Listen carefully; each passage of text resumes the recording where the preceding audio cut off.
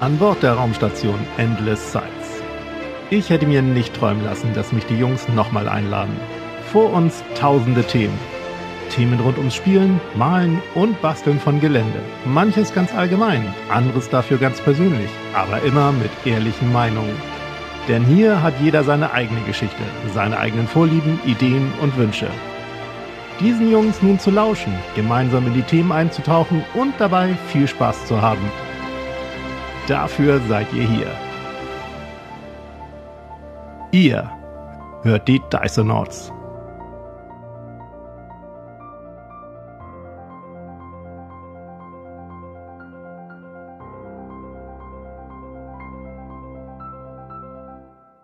Ein herzliches Moin an euch da draußen. Da sind wir wieder live von der Endless Side. Wir haben uns unser Shuttle geschnappt und sind in die Siedlung Önkelstieg geflogen, um dort zu landen. Und an Bord ist dabei der Phil. Hallo Phil. Ihr Knaller, ey, was ist denn das für ein geiles Intro gewesen? Hallo Phil, ja. Das war ja mal der Hammer. Ja, hi. Ja, äh, wir begrüßen auch gleichzeitig den Hauke. Hallo Hauke. Mir geht's wie Phil, ich habe Tränen in den Augen. Ich kann nicht mehr. So, und äh, auch im Shuttle versteckt war der liebe Michael. Hallo Michael. Moin, moin, grüß dich. So. Grüßt euch. Hat Michael euch jetzt überrascht? Hat der euch überrascht? Ja. Hä? Also es ist perfekt gelungen, die Überraschung. Also das war ja mal richtig geil. Super geil, oder? Großartig. Ja, mega geil. Also, äh, was ihr noch nicht wisst von wegen, wir sind eigentlich schon seit über einer Viertelstunde am Gange, beziehungsweise schon fast eine halbe Stunde am, am Gange. Und wir können nicht mehr verlachen. Also ganz ehrlich, wir, wir haben so uns Sachen erzählt. Das wird, glaube ich, eine sehr, sehr coole und auch sehr, sehr lange Folge. Da könnt ihr euch schon mal seelisch drauf einlassen. Und da haben wir gedacht, von wegen, starten wir doch mal mit einem Knaller und das war dementsprechend das Intro. Also, Michael, als du uns das vorhin geschickt hast oder mir geschickt hast und hast gesagt, mach mal, pst, hier leise, äh, ne, mach mal, mach mal fertig und so, dass die anderen beiden davon nichts wissen. Ähm, ich saß hier und habe dann plötzlich so meine Boxen etwas aufgedreht hier und äh, ich habe auch große Augen gekriegt. Also vielen Dank nochmal. Ja, sehr gerne. Es ist wieder Cantina-Zeit. Cantina-Zeit heißt eigentlich, wir sitzen schön irgendwo in der Siedlung Önkelstieg und äh, trinken irgendwo ein kleines Getränk und unterhalten uns über die tollsten Sachen im Hobby. Und genau so wollen wir denn eigentlich starten. Ihr habt ja beim letzten Mal schon mitgekriegt, dass wir einfach ähm, überzogen haben wie Thomas Gottschalk. Also wirklich, also die, die, die Tagesthemen, die hatten nur noch zehn Minuten Zeit. Also, ne? Und daraufhin haben wir gesagt, komm, wir treffen uns nochmal, wir machen eine Cantina Teil 2 für euch da draußen, weil es gibt einfach so viel zu erzählen. So viel zu erzählen. Und ähm, Michael, du wirst äh, dich wundern, wir haben einige Fragen aus der Community für dich. Die werden wir nachher so im Laufe des Abends dann einstreuen, die du dann natürlich ganz spontan beantworten darfst. Und äh, der liebe Hauke hatte Themen rausgesucht, ich habe noch ein Thema rausgesucht und äh, ja, Phil fliegt einfach mit. Ich habe vielleicht noch einen kleinen Teaser für euch uh. für später vorbereitet. Okay, also dazu später mehr. Okay, dann würde ich sagen, bleib mal, bleib mal lieber dran an die Geräte an die Geräte. Okidoki, würde ich sagen, starten wir direkt mit ins erste Thema. Hauke? Ei.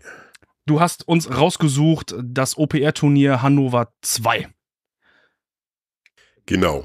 Ähm, es ist ja nicht so, dass weniger passiert, wenn wir länger warten halt. Ne? Es ist ja andauernd, ist ja irgendwas, so kommen sie gar nicht mehr zur Ruhe. ähm, also, die, der aufgeschlossene, informierte und interessierte Hörer wird sich erinnern, dass wir schon mal zur Folge, Folge der Dysonauts 142 hatten wir Steffen und Christian vom 3TH in Hannover zu Gast. Die haben uns damals über ihr OPR-Turnier Hannover 1 berichtet.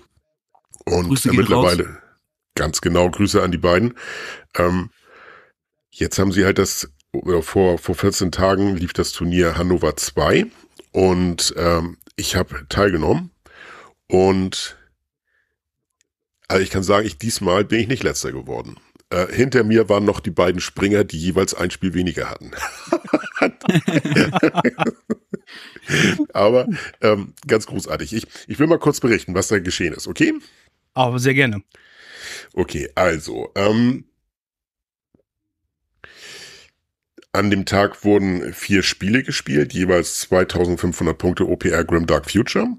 Und im, ich habe Ultramarines gespielt, also Battle Brothers, mit einer Liste mit zwei Support-Trupps mit jeweils drei schweren Waffen, zwei Trupps Battle Brother, also jeweils fünf Space Marines mit einem Flammenwerfer, zwei Dreadnoughts und drei Landspeeder. Und äh, diese Liste ist zum einen, glaube ich, nicht wirklich turniergeeignet und zum anderen bin ich zu doof, diese Liste zu, zu spielen. also, okay. Alles gut, aber, aber es hat Spaß gemacht und das ist ja das Wichtigste halt. Ne? Ja, In der Tat. Im, im ersten Spiel habe ich gegen Space Skaven gespielt, also Redman Clans und ähm, da, der dazugehörige Spieler war Sven. Sven, auch an dich herzlichen Gruß. Ähm, Sven ist derzeit auf Platz 4 des deutschlandweiten OPR-Rankings und der hat mich richtig abgeledert. Also er hat mich getabelt. Ich habe irgendwann im dritten, ich glaube im dritten oder Beginn des, des vierten Spielzugs habe ich dann einfach aufgegeben, weil es einfach keinen Sinn mehr hatte. Und ich war dann eines Spiels und viel Erfahrung reicher, aber äh, ich habe absolut kein, kein Land gesehen. Okay. Im zweiten Spiel habe ich gegen Elder, also, also Weltenschiff Elder gespielt. Die heißen ja ähm, Craft, Elf Craft glaube ich. Ja, ne? ja, irgendwie sowas. Elf. High Elf Fleets irgendwie halt. Aber letztendlich sind das halt Elder. Und ähm, gegen Tim aus Hannover, der auch zum 3TH gehört. Auch Grüße an dich, Tim. Ähm, das war ein interessantes Spiel, aber auch dort habe ich einfach gnadenlos schlecht gespielt und äh, Tim ziemlich gut. Und deshalb habe ich da auch cool verloren. Aber auch das machte nichts. Im dritten Spiel habe ich dann gegen Svens, ich glaube, ich glaube, das Mädchen war zehn, neun oder zehn Jahre alt, äh, Tochter gespielt. Die hatte Goblins.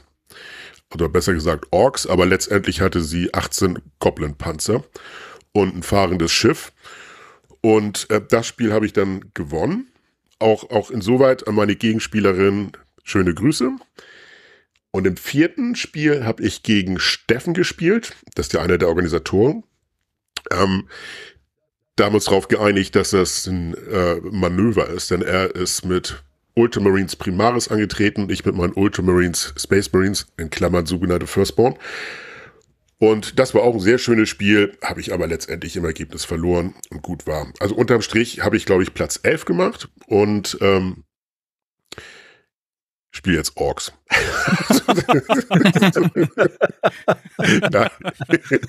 Wenn der Bauer nicht schwimmt, dann ist die Badehose schuld, ne? Nein, das, also das ist Hat sicherlich. Jahrzehnte gedauert, bis Hauke es endlich einsah. also genug Figuren hast du dafür auf jeden Fall, würde ich sagen. Das, das stimmt. Aber ähm, die, ich, ich muss mich jetzt, nachdem ja auch jetzt die dritte Edition raus ist mit dem ersten Update schon wieder, muss ich mich sowieso in die neuen Regeln reinfuchsen und immer gucken, was ich dann mit meinen Ultramarines mache. Aber demnächst werde ich erstmal erstmal Orks spielen halt. Okay, wichtige okay. Zwischenfrage dazu ist jetzt einfach wie im Fußball. Hauke, woran hattet ihr gelegen? woran hattet ihr gelegen? Ja, woran hattet ihr gelegen? Ich glaube, ich glaube, dass ich das noch nicht wirklich begriffen habe, wie man das Spiel spielt. Ähm, oder zumindest, zumindest auf Turnierebene spielt. Also da muss man schon genaue, ähm, genau arbeiten, halt, dass du halt die Entfernung genau abmisst und dich nicht einfach irgendwo hinstellst, sondern äh, dass es auch Sinn und Verstand hat, was du da machst. Ähm, ich habe einfach teilweise habe gar keinen Bock gehabt, nachzudenken. Ich habe einfach gesagt, komm, jetzt ziehst du das einfach mal hier so mhm. hin, was teilweise gar keinen Sinn ergab. Und ähm, unterm Strich denke ich, dass mir schlicht und ergreifend die Spielpra Spielpraxis fehlt. Und ähm, man muss sich jetzt einfach mal Haukes Worte und Thomas Müller in der Mixzone vorstellen. Nach einem Länderspiel. Das wäre so großartig.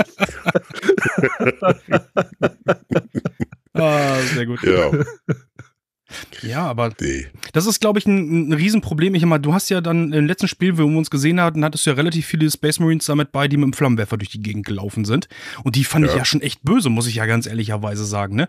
Hattest du jetzt auch wieder so eine Liste wirklich drumherum gestrickt, wo du sagst, ich habe sehr viele Flammenwerfer mit, also die ja wirklich dann halt äh, Schaden ohne Ende gemacht haben? Ich hatte zwei Space Marines mit Flammenwerfern dabei und ähm, drei Flammenwerfer auf einem Dreadnought drauf. Aber auch das hat alles nichts gebracht, weil ich nicht dazu richtig in der Lage war, diesen Dreadnought dementsprechend einzusetzen, sondern ich bin damit einfach irgendwie sinnlos in der Gegend rumgezogen. Und ähm, de dementsprechend wurde der halt abgeschossen. das, das war, also es war, es war etwas, etwas ernüchternd, aber äh, trotzdem, also ich will das nochmal betonen, mir hat das sehr viel Spaß gemacht und ähm, ich habe eben mal nachgeguckt. Ähm, auf der deutschlandweiten Rangliste bin ich nicht letzter. Obwohl ich beide Turniere gnadenlos verloren habe. Aber ich bin auf Platz 51 zurzeit nach den Punkten obwohl ich nicht in der Lagenliste draufstehe, weil meine Einstellung bei 3T, T3 falsch waren, aber ich habe hab ich die, die Einstellung äh, geändert. Nur das nächste Update dauert noch ein bisschen, aber von den Punkten wäre ich nach der Liste auf Platz 51 und damit nur einige Punkte hinter Phil. Also äh, ist in Ordnung. Ich bin auf dieser Liste drauf? Ja. das gibt's ja gar nicht. Und ich bin nicht letzter. Ja. Unglaublich. Nein. Du bist, glaube ich, Platz 44 oder so.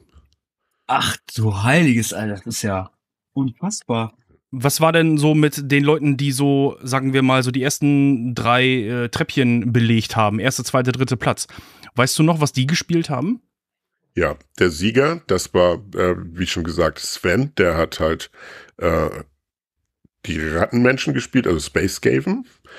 Und ähm, der zweite, das war Sebastian, der hat ähm, Sisters of Battle gespielt. Mhm. Platz 3 war Manu Learning by Dying. Das ist derjenige, gegen den Phil auch die volle Packung bekommen hat mit den Borrowern, mit den Tyranniden. Oh ja, das war echt Grüße gehen raus zu, zu, zu Manu nach Hamburg. Ähm, vierter ist Falco Raggedy Man Gress. Ähm, der hat Robert Legions gespielt, auch einer aus Hamburg, auch Grüße. Dann Svens Tochter, Platz Nummer 6. Ähm, war ein, ein Spieler, der leider auf, auf, aufgrund eines, ja, der musste das Turnier abbrechen und ins Krankenhaus. Das war sehr ärgerlich, oh, zumal nein. der halt auch die ersten beiden Spiele beide gewonnen hat und damit auch garantierten An Anwärter auf dem ersten Platz gewesen wäre. Oh, äh, gu gute Besserung. Also wir hoffen, dass da nichts irgendwie jetzt äh, äh groß im Argen gewesen ist. Ja, ja. Und da kamen noch so ein paar andere Jungs und äh, dann halt am Ende ich halt. Ne? Aber, aber alles gut. Ähm, dieses Turnier hat allerdings bei mir ähm,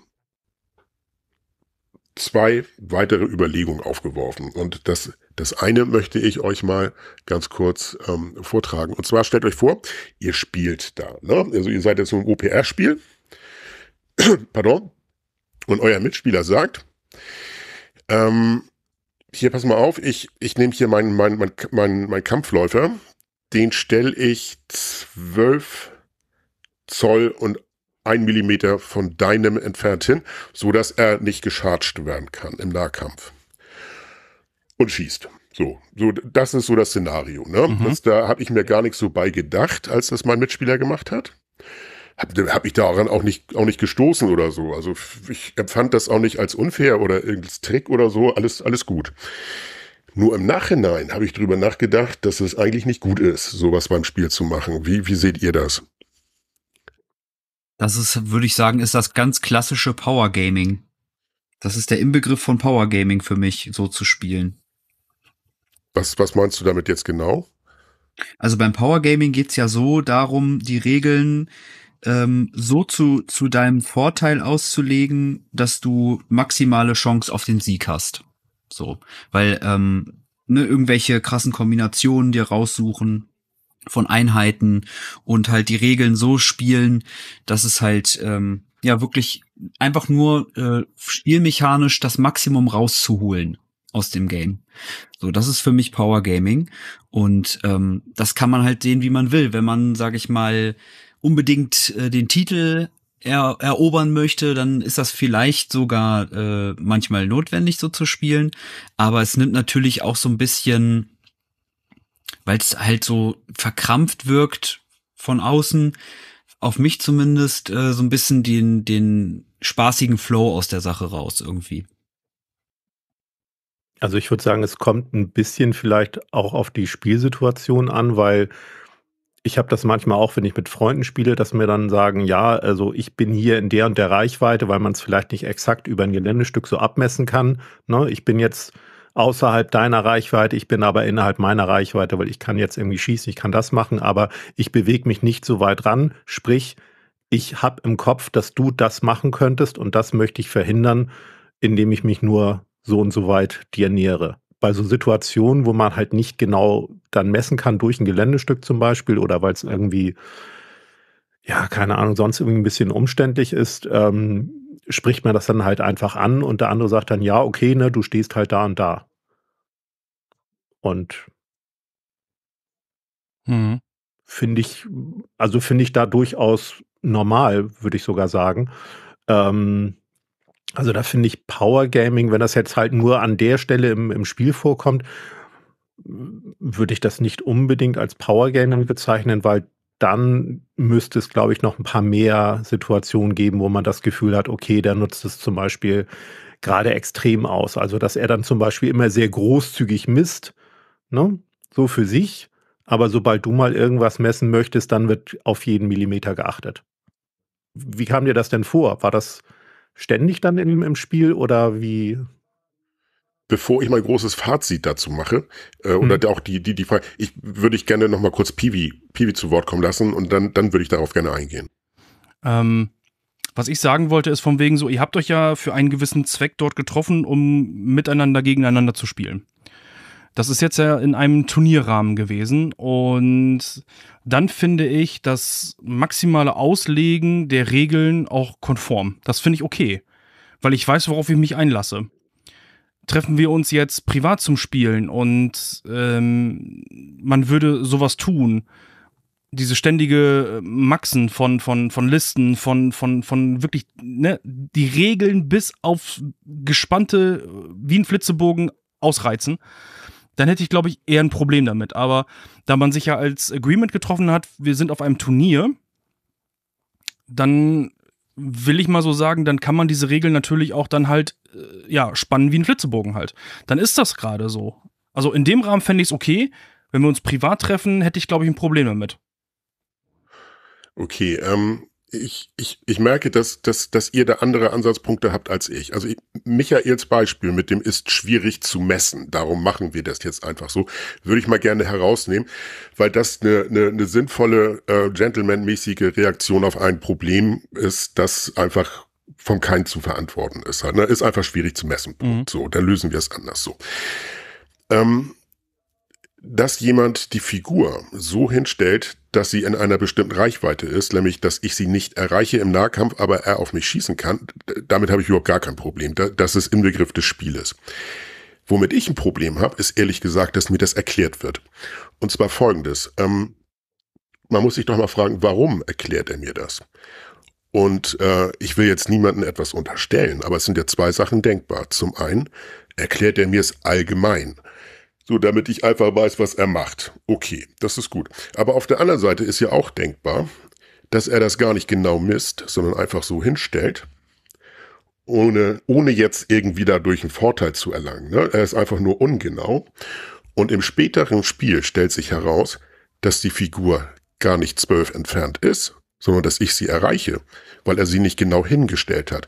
Und dann ist doch die Frage, was gilt dann eigentlich? Gilt das so, wie die Figur steht?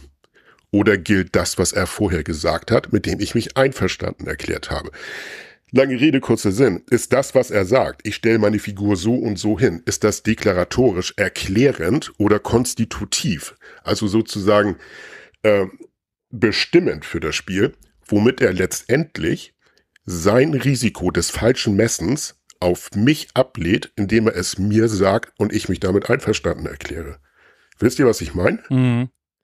Ja, das ist schon schwierig. Das ist also, weil er würde sich natürlich immer darauf berufen, ich habe dir das ja gesagt und nicht wahrscheinlich anerkennen, oh, ich habe mich dann da vermessen.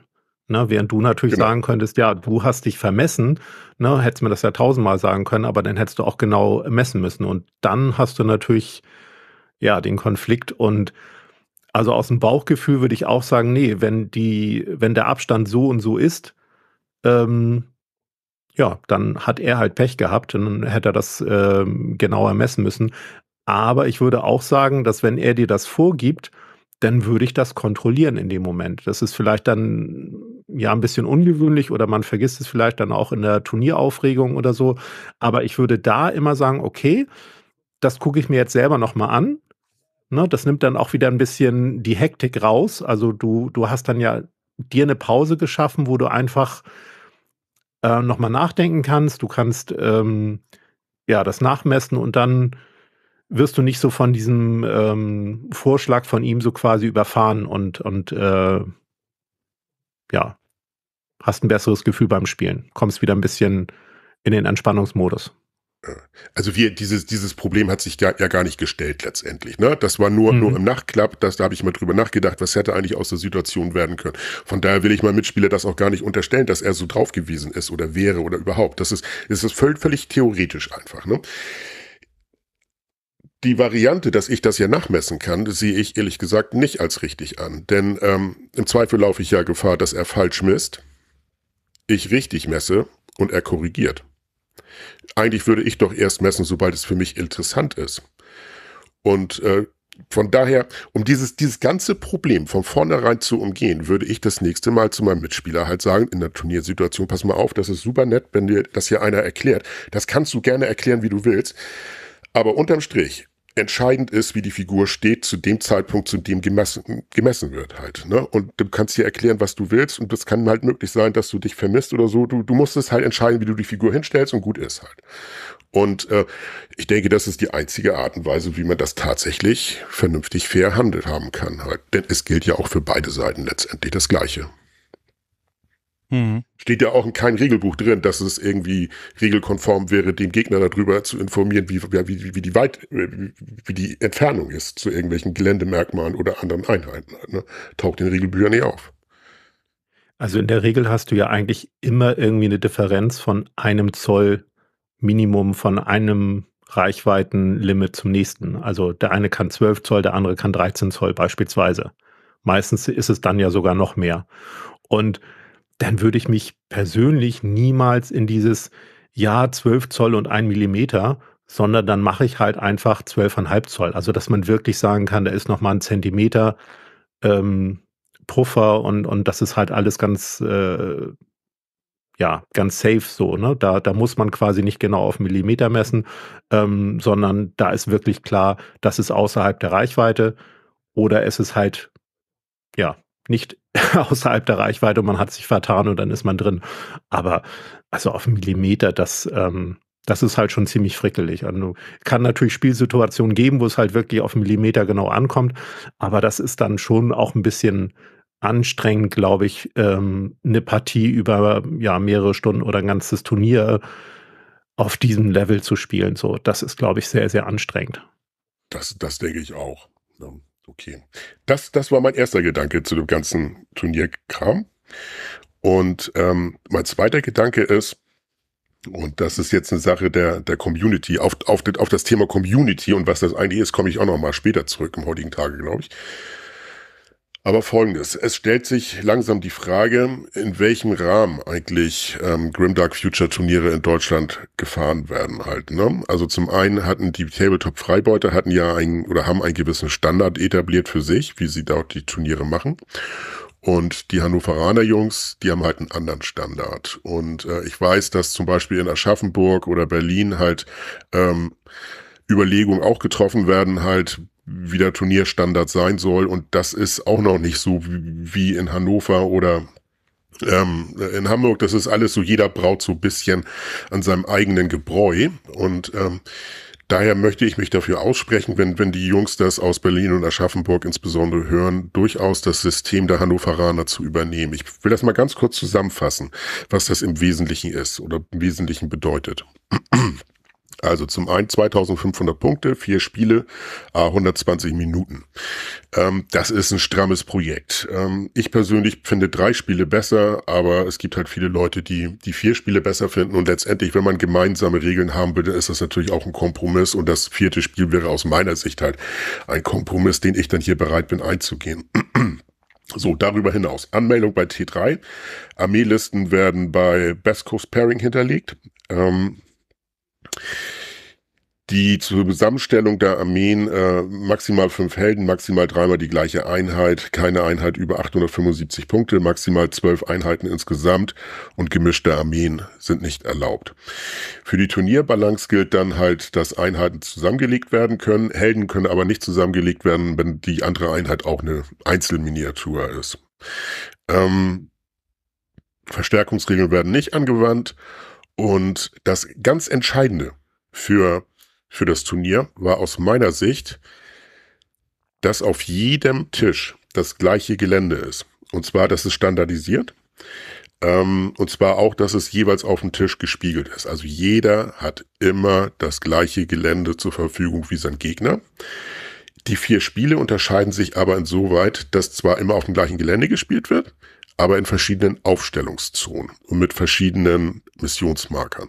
Und das macht die ganze Sache äußerst interessant, da dieser Geländeplan von Steffen und Christian nicht einfach irgendwie ein Geländeplan ist, sondern ein wirklich sinnvoll angelegter Geländeplan, ähm, der sowohl nahkampfstarken als auch beschussstarken Armeen das Spiel ermöglicht halt. Und ähm, das hat aus meiner Sicht ganz hervorragend funktioniert. Und diese Regeln sind über T3, über die Informationsreiter äh, der Turniere der Hannoveraner halt abzurufen. Und ich kann nur jedem empfehlen, sich das mal runterzuladen und mal in Ruhe durchzulesen halt. Äh, ganz großartig. Fand also selbst das, was in Hamburg lief, war schon toll und cool. Aber das in Hannover war echt nochmal besser. Okay, das dazu. Mhm. Ähm, ich will noch mal kurz was einwerfen in, in Richtung Gelände. Also ähm, ich finde es natürlich auch schön, wenn ich ähm, nicht als Spieler das Gefühl habe, dass ich jetzt auf einer Platte ähm, spielen muss, weil mir die zugeteilt wurde, wo ich jetzt irgendwie durch das Gelände einen Nachteil habe. Aber ich denke mir halt auch, wenn du zehn Tische, wie viel, wie viel Teilnehmer wart ihr, Hauke? Wir haben an fünf Tischen gespielt, wir waren zehn Teilnehmer. Ja, also ich sag mal, fünf Tische kannst du natürlich noch gut über einen Hobbyclub ähm, ausstatten mit gleichem Gelände. Aber dann wird's halt irgendwann schwierig. Und ich habe ähm, einige Grand Milis von Saga ähm, damals in Erlinghausen ähm, im Freilichtmuseum gespielt. Und da waren es, glaube ich, 32 oder 48 Teilnehmer, wenn ich das jetzt richtig im Kopf habe. Und da hat der Mirko von Stronghold Terrain halt einiges an Gelände auffahren müssen, ähm, damit die Spieltische möglichst gleich sind. Und ähm, ich glaube, ja, irgendwann stößt du da natürlich an Grenzen. Also, also wenn es halt wirklich auf einen auf Zentimeter bei den Bases und also ne, wenn du jetzt irgendwie Gebäude oder so auf eine Base setzt und du sagst, okay, egal wie das Gebäude aussieht, es zählt die Base, dann ist das vielleicht noch einfach, ähm, aber das kann irgendwann echt schwierig werden, weil das Ganze muss ja auch noch gelagert werden, dann am besten bis zum nächsten Turnier. Mhm. Und ähm, ich glaube, es kommt auch immer ein bisschen aufs Spielsystem an. Also jetzt One-Page-Rules habe ich noch kein Turnier gespielt, aber ähm, bei zum Beispiel Summoners habe ich äh, Turniere gespielt, wo halt die Spieltische eher so thematisch gestaltet waren. Das heißt, dann hattest du mal irgendwie eine Eiswelt, da mehr eine Lava-Welt und dann war das Gelände natürlich auch anders. Und ja, es gab dann halt einfach nur ein Limit, was die Geländestücke angeht, aber die waren halt schon alle ein bisschen unterschiedlich von der Fläche. Da möchte ich ganz kurz reingrätschen. Ähm, mhm. Das ist auch überhaupt nicht, ähm, sage ich mal, konträr zu Haukes äh, Vorschlag. Nee, nee, es kann nee, theoretisch auf jeder Platte ein anderes Thema sein vom Gelände her. Komplett anders. Äh, es geht halt primär um das Layout und da wird wurde tatsächlich auch mit Geländezonen gearbeitet. Also ich fand das auch ganz cool, dass die dann so Plexiglasscheiben hatten, ähm, die quasi dann äh, äh, festgelegt wurden als sichtblockendes Gelände oder ähm, schwieriges Gelände mit den entsprechenden Regeln. Und dann hatte jeder noch, jeder Spieler oder zumindest in der Runde, in der ich zugeguckt habe, äh, das war das gegen die äh, Craft World Elder, da hatte dann jeder Spieler noch einen extra Sichtblocker, den er auf eins der in eine der Geländezonen reinstellen durfte. Ähm, dann halt auch äh, abwechseln sozusagen. Jeder hatte nur einen, deswegen war da nicht so viel. Ähm, aber das fand ich auch irgendwie eine ne ganz nette Idee. Und das schließt das ja gar nicht aus, dass ähm, theoretisch auf jeder Platte ganz andere Geländeteile stehen könnten, solange halt quasi die Aufteilung, äh, was, welches Gelände als was festgelegt wird, identisch ist. Also Hauptsache die, die Basegrößen stimmen dann überein und die genau. ähm, Phil, du hast gerade gesagt, die haben äh, so Plastikscheiben benutzt. Also muss ich mir das wirklich vorstellen, dass dann, sage ich jetzt mal so, äh, Plexiglas ausgeschnitten wurde äh, in einer bestimmten Größe und dann haben die da mit einem, was ich, Edding draufgeschrieben, schwieriges Gelände oder sowas, damit das wirklich klar war? Oder wie stelle ich mir das vor? Also draufgeschrieben war da jetzt, glaube ich, nichts, oder Hauke? das ist so, du kriegst eine Karte des Geländes, äh, des, des, des Spieltisches. Mhm. Und ähm, auf, der, auf dieser Karte ist klar zu erkennen, welche Acrylglasplatte welche Art von Gelände ist. Und ähm, äh, ne, du hast eine Spielmatte, dann hast du eine Acrylglasplatte, die im, im im besten Fall 30 mal 30 Zentimeter vielleicht groß war. Die wurde dann da hingelegt und auf dieser Acrylglasplatte wurde dann normales 3D-Gelände aufgestellt. Hm. Ähm, da aber das Ganze als ähm, Top-Down Line-of-Sight Guide, das heißt also du sprichst, du guckst nur von oben drauf halt, ob, ob das am Gelände vorbeigeht oder durch ein Geländestück oder wie auch immer. Das ist maßgeblich. Das heißt, du gehst nicht mit dem Kopf runter und guckst so auf Höhe der Figur, was jetzt 3D-Linie ist halt, äh, sondern einfach nur von oben gucken halt. Und das macht das Ganze unglaublich einfach und vor allem macht es das Sache, die Sache klar. Also es erübrigt sich jegliche Diskussion über Sichtlinien. Also die, die gibt's einfach nicht, weil das klar ist halt. Und äh, dementsprechend sahen die Tische auch nicht gleich aus. Also die sahen wirklich unterschiedlich aus halt. Ne? Es war halt nur mit einem etwas ab größeren Abstraktionsgrad zu anderen 3D-Gelände, ich sag's mal so. Aber es klingt wirklich nach, ich sag mal, von wegen, das habt ihr jetzt für zehn Leute gehabt, ne? Das finde ich ist noch wirklich handelbar. Also diese Platten irgendwo hinzustellen, gut, die Matten rollst du auf, die kannst du irgendwo hinpacken und so weiter. Das ist alles handelbar. Aber wenn man jetzt überlegt, so ein Turnier mit 500 Leuten und mehr irgendwie auszustatten, uh, holla die Waldfee, ey. Aber das, ich sag, sag mal so, das ist ja zurzeit ein theoretisches Problem, ne? Also es ist ja, steht ja gar nicht zur Debatte, ein Turnier mit 500 Personen zu machen. Das größte sind, glaube ich, was zurzeit in der Mache ist, sind 30 Personen in Hamburg, das nächste Turnier. Hm. Und ähm, die machen das ja anders. Die benutzen interessanterweise, benutzen die aber die, die, die gleiche die gleichen Regeln, ne? Auch die benutzen diese kleinen Matten, die da hingelegt werden. Phil, erinnerst du dich doch auch noch, ne? Das ist ja genau. So das ist, ist da auch ist da auch ähnlich gewesen, nicht identisch, aber ähm, ähnlich genau noch ein bisschen lockerer, würde ich sagen, was diese Geländeaufteilung angeht. Und die Tische waren auch nicht alle gleich, sondern ähm, es gab, ähm, ich glaube, zwei oder drei verschiedene Typen von Tisch sozusagen, auf denen man dann spielen konnte, die auch dann passend zu den äh, unterschiedlichen Szenarien aufgebaut waren.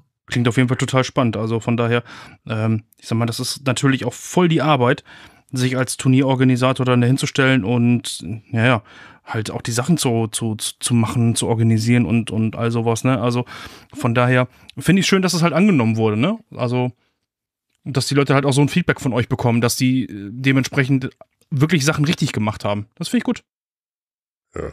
Und nochmal, wer auch immer das demnächst ein Turnier organisieren möchte für Grimdark Future, dem sei wirklich angeraten, entweder sich das bei T3 mal runterzuladen und anzugucken.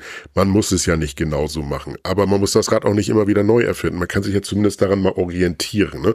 Denn das, was die Jungs da gemacht haben, ist wirklich grandios. Oder, und ich glaube, damit sind die auch einverstanden, wenn man dir dann auf dem, auf dem äh, One-Page-Rules ähm, Grimdark Future Discord oder bei T3 oder bei ihrem eigenen Discord auch anschreibt. Ne? Ich glaube nicht, dass die einen da wegdrücken und sagen, nö, die erkläre ich das nicht, sondern ganz im Gegenteil. Die werden, sich, die werden sich freuen, wenn sie da ihr Wissen weitergeben können.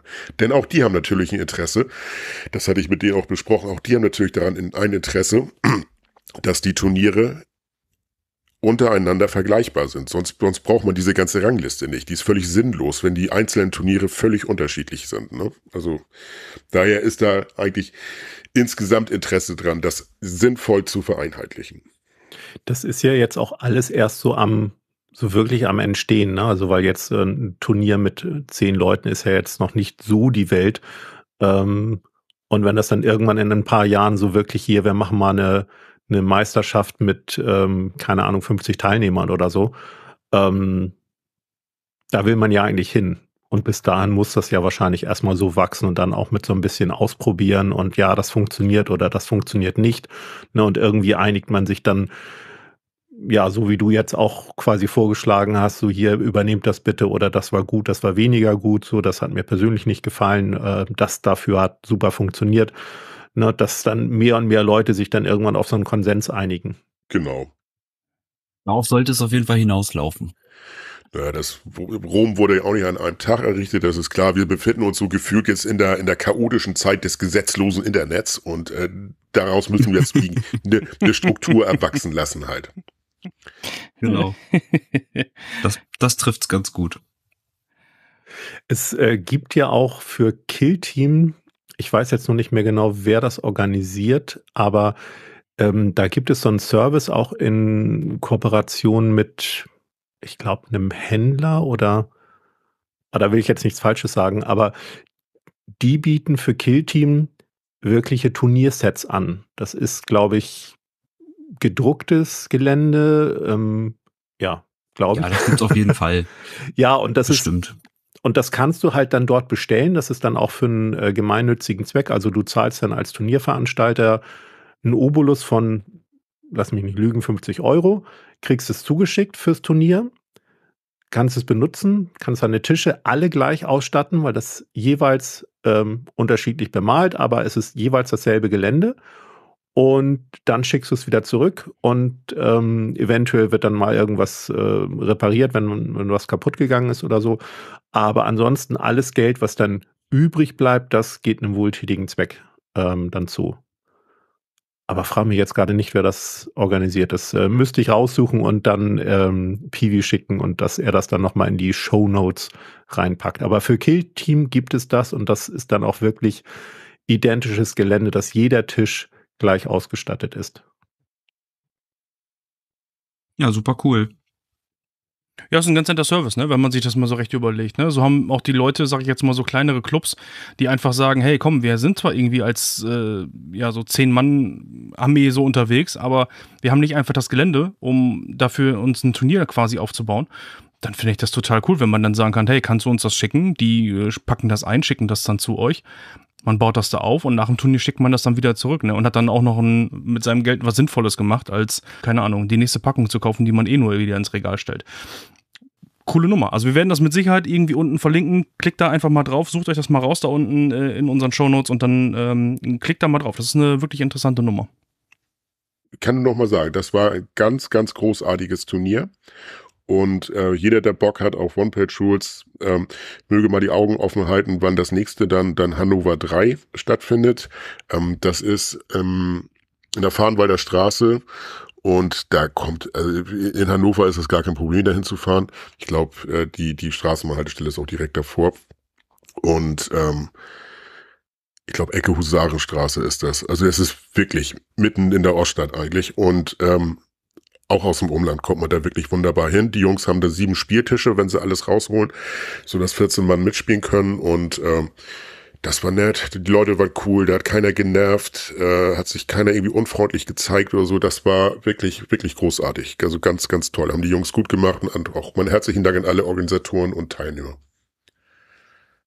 Ich würde mal eben den Michi was fragen wollen. Und zwar äh, sind wir jetzt schon gerade ja im den ganzen Bereich Gelände und so weiter und so fort. Ne? Wir haben ja gerade gesagt, man kann sich mittlerweile Gelände bestellen und so weiter. Ähm, jetzt fragt der Verior bei uns auf dem Discord-Kanal. Mich würde ja mal Folgendes interessieren. Das äh, passt ein bisschen zum Video bezüglich der eigenen Ansprüche beim Malen. Verkackt man als Geländebauguru eigentlich auch mal den Bau eines Geländestückes? Geile Nein, Frage. natürlich nicht. Niemals. Also. Das sind alles nur Happy Accidents, oder wie war das? Ähm, nee, natürlich geht auch mal irgendwas daneben. Beziehungsweise es wird nicht so, wie ich es mir vorgestellt habe, nicht mal im Ansatz so. Ähm, aber ich, also was so zum Beispiel dann die Bemalung von dem Geländestück angeht, ähm, da habe ich dann zwar irgendwie was im Kopf, wie ich es gern hätte, aber ich bin auch immer völlig damit zufrieden, wenn ich halt weiß, okay, ähm, das ist jetzt nicht so geworden, wie ich es eigentlich gedacht habe, weil vielleicht ein bisschen zu hell, ein bisschen zu dunkel oder der Braunton ist nicht ganz so. Aber hey, völlig okay. Ne? Also da mache ich mir nicht den Stress, dass ich jetzt irgendetwas genau so umsetzen möchte.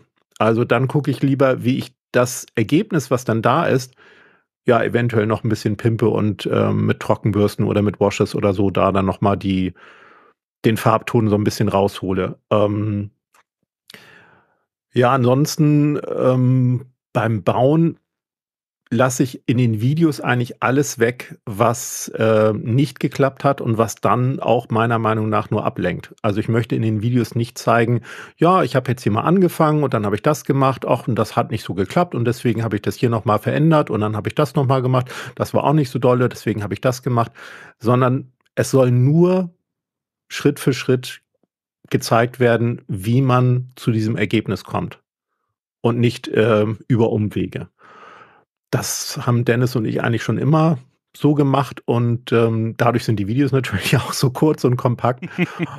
ähm, aber das passiert mir auch. Also es gibt durchaus Projekte, wo ich erstmal irgendetwas komplett baue und dann auch merke so, okay, wenn ich das jetzt so und so zeigen würde, wie ich es mir gedacht habe, ist es vielleicht sogar umständlich.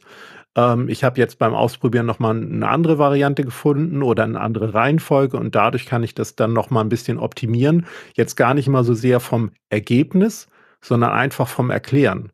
Ne, welches Bauteil beispielsweise aus Hartschaum schneide ich jetzt zuerst zu, wie schneide ich das zu, muss ich jetzt hier ständig abmessen oder wenn ich zwei Teile zugeschnitten habe, vielleicht ergibt sich dann automatisch das Maß für das dritte Teil. Ne, und all diese Sachen probiere ich erstmal aus. Ähm, und dann entsteht das Video, aber es geht natürlich, gehen Sachen schief. Also klar. Kommst du nicht drum rum. Was war denn das letzte Teil, wo du wirklich gesagt hast, von wegen so, boah, nee, ey, komm, das, das war wirklich Bockmist, äh, das geht jetzt Richtung Tonne?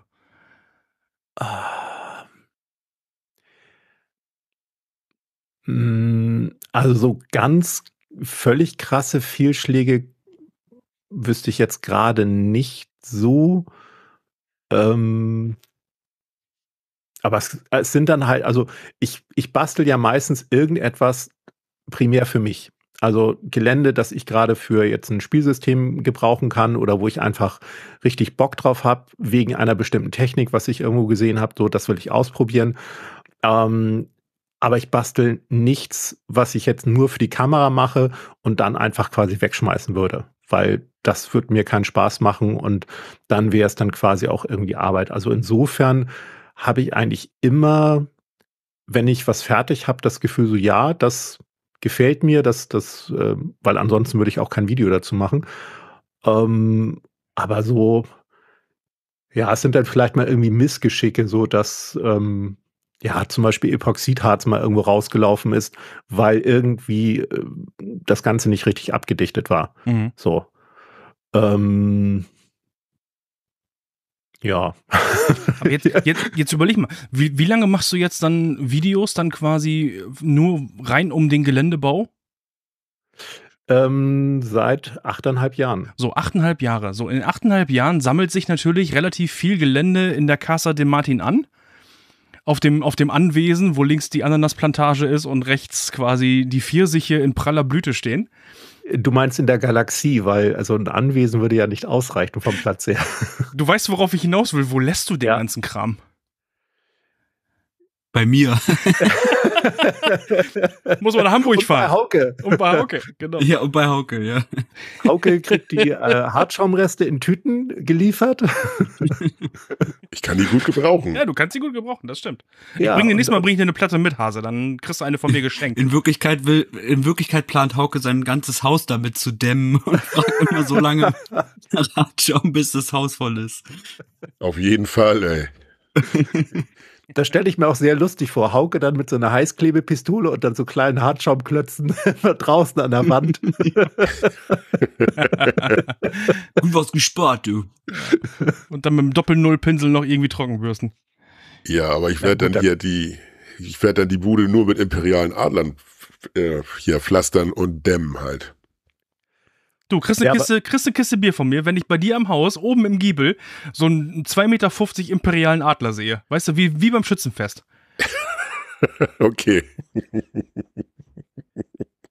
Oh, ja, führe, den bauen wir, ne? Führe mich nicht genau. in Versuchung. Doch führe, führe mich nicht in Versuchung. Ich habe auch schon gerade gedacht, wie drucke ich dir das? Nee, nee, den schneiden wir schön aus Hartschaum. Also da machen wir dann so eine Spannweite von der, echt von der Platte ist doch 1,20 Meter. da kriegen wir zwei schöne Schwingen mit hin. Ich stelle mir gerade die Augen von Haukes Frau vor. Wenn die nach Hause kommt, fährt das Auto in Carport und geht einfach in die Haustür und guckt einfach so in den Giebel rein, so irgendwie. Und sieht plötzlich diesen imperialen Adler. Und Kommissar Hauke steht oben an seinem Fenster im Büro mit so einem Monokel noch in der Hand ja, und, äh, und nickt einfach nur. Ich habe ja schon schon mega eins auf den Sack bekommen, als ich den äh, Bader Malstrom, nicht nicht Bader Bader Malstrom Komplex Aufkleber aufs Auto geklebt habe. Hast du gesehen? Das habe ich mir. Ja, der hat sie gesehen, hätte hat ich sie auch gleich wieder erlebt. abgerissen. Ey. Oh nein. Wenn ich jetzt hier hier hier in Niedersachsen ist es ja tatsächlich so, dass dass dass das oben auf dem ähm, wie heißt es Dachgiebel, wie auch immer, ähm, die Pferdeköpfe wieder nach außen oder nach innen gucken, ne? So bei freien Ja. Bauern gucken die, glaube ich, nach außen und bei bei Leibeigenen, keine Ahnung, was das dann sind, gucken die halt nach innen halt. Und ich Ja. kann das natürlich dann mit imperialen Adlerschwingen machen halt hier. Das ist halt, Oh, das Ja, aber am Giebel ist doch eigentlich gar nicht so sexy, Hauke. Das muss doch eigentlich direkt auf die Regenrinne über den Eingang.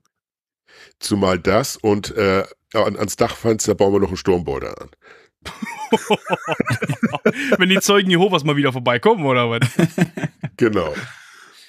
Ja, oder, oder diese, ähm, nicht, nicht Schützengräben, aber, aber diese, diese Sperren, diese kleinen, keine Ahnung. Gegen, ja, so gegen Infanterie, die so ein bisschen, ähm, ja, so versetzt ge äh, gebaut sind. So mit NATO-Draht dran. ja, die dann schön ja, vorne in den Vorgarten oder auf die Auffahrt vom Carport. Warte, Schatz, ich stell sie mal kurz beiseite. So, so ein Wall der Märtyrer halt. Ja, genau, das war's. Weil der Märtyrer. Du hast ja auch einen relativ schönen Garten, ne? Habe ich dich letztes Mal auch gelobt, als wir da waren, ne? Wie, wie schön dein Rasen ja eigentlich auch ist, ne? Den hast du ja wirklich, also wirklich adäquat hast du den hier hingekriegt, ne? Ich habe hier noch so eine Flasche Roundup stehen. Wenn wir jetzt den imperialen Adler bei euch auf den Rasen drauflegen und drumherum quasi ähm, das Roundup st streuen, sprühen, gießen, das hätte auch was. Ich, ich sag mal so, Ich darf nie wieder zu euch kommen.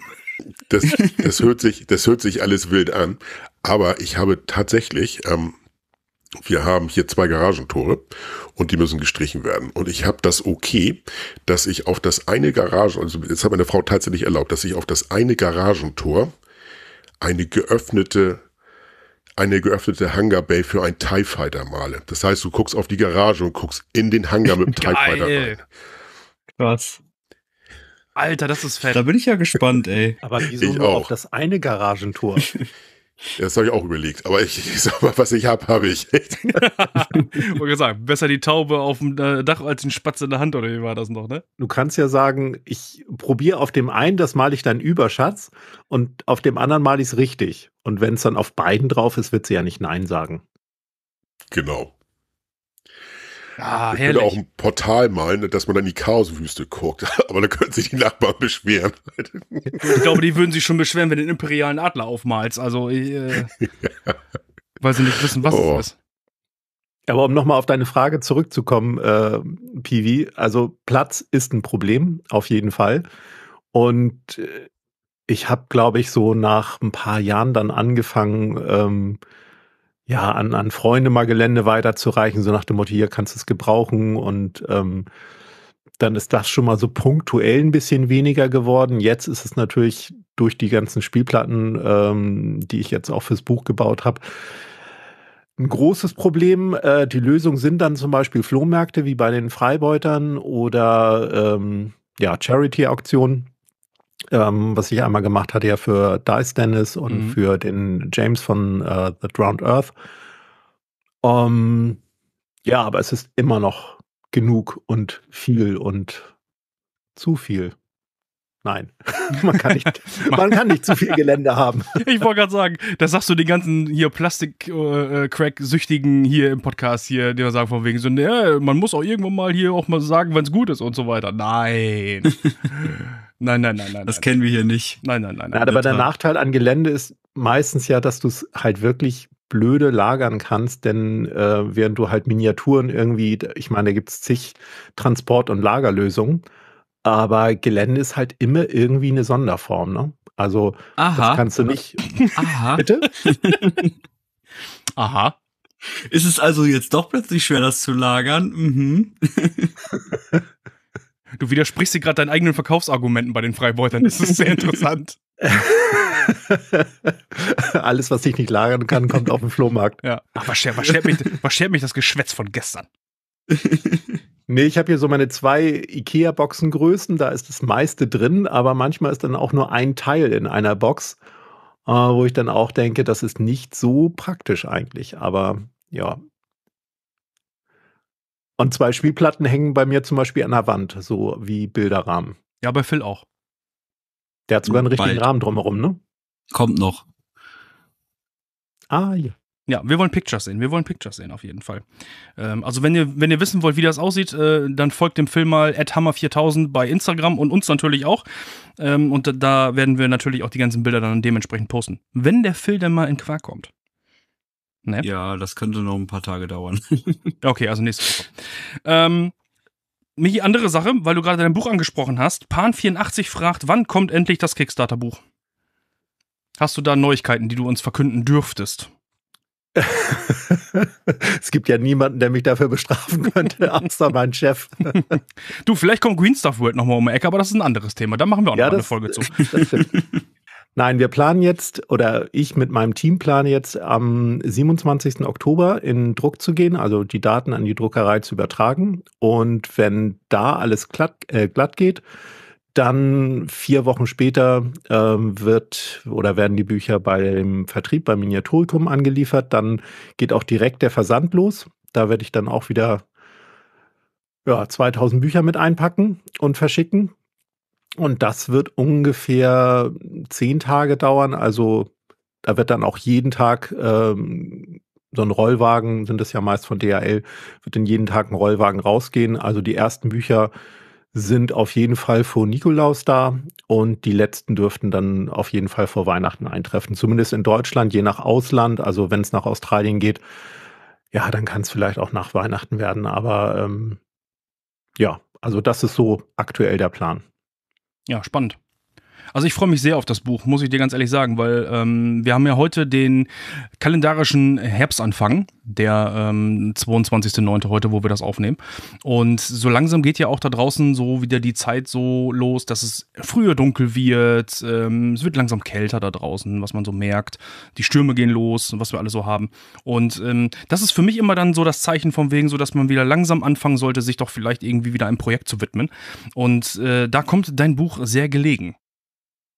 Ja, das äh, freut mich und das merke ich aber auch generell, was die Videos angeht. Also man kann immer sagen, dass im Sommer eigentlich die, ja, oder das Interesse an, an Tabletop-Content, ich glaube, das ist nicht nur in meinem Kanal oder auf meinem Kanal so, sondern auch bei anderen Kanälen, dass es im Sommer immer ein bisschen nachlässt, dass natürlich dann die Leute draußen sind und eher andere Sachen machen und äh, dann ab der dunklen Jahreszeit wieder so sich hinsetzen und fürs Hobby ähm, sich die Zeit nehmen und Figuren bemalen, Gelände bauen, mehr spielen und so.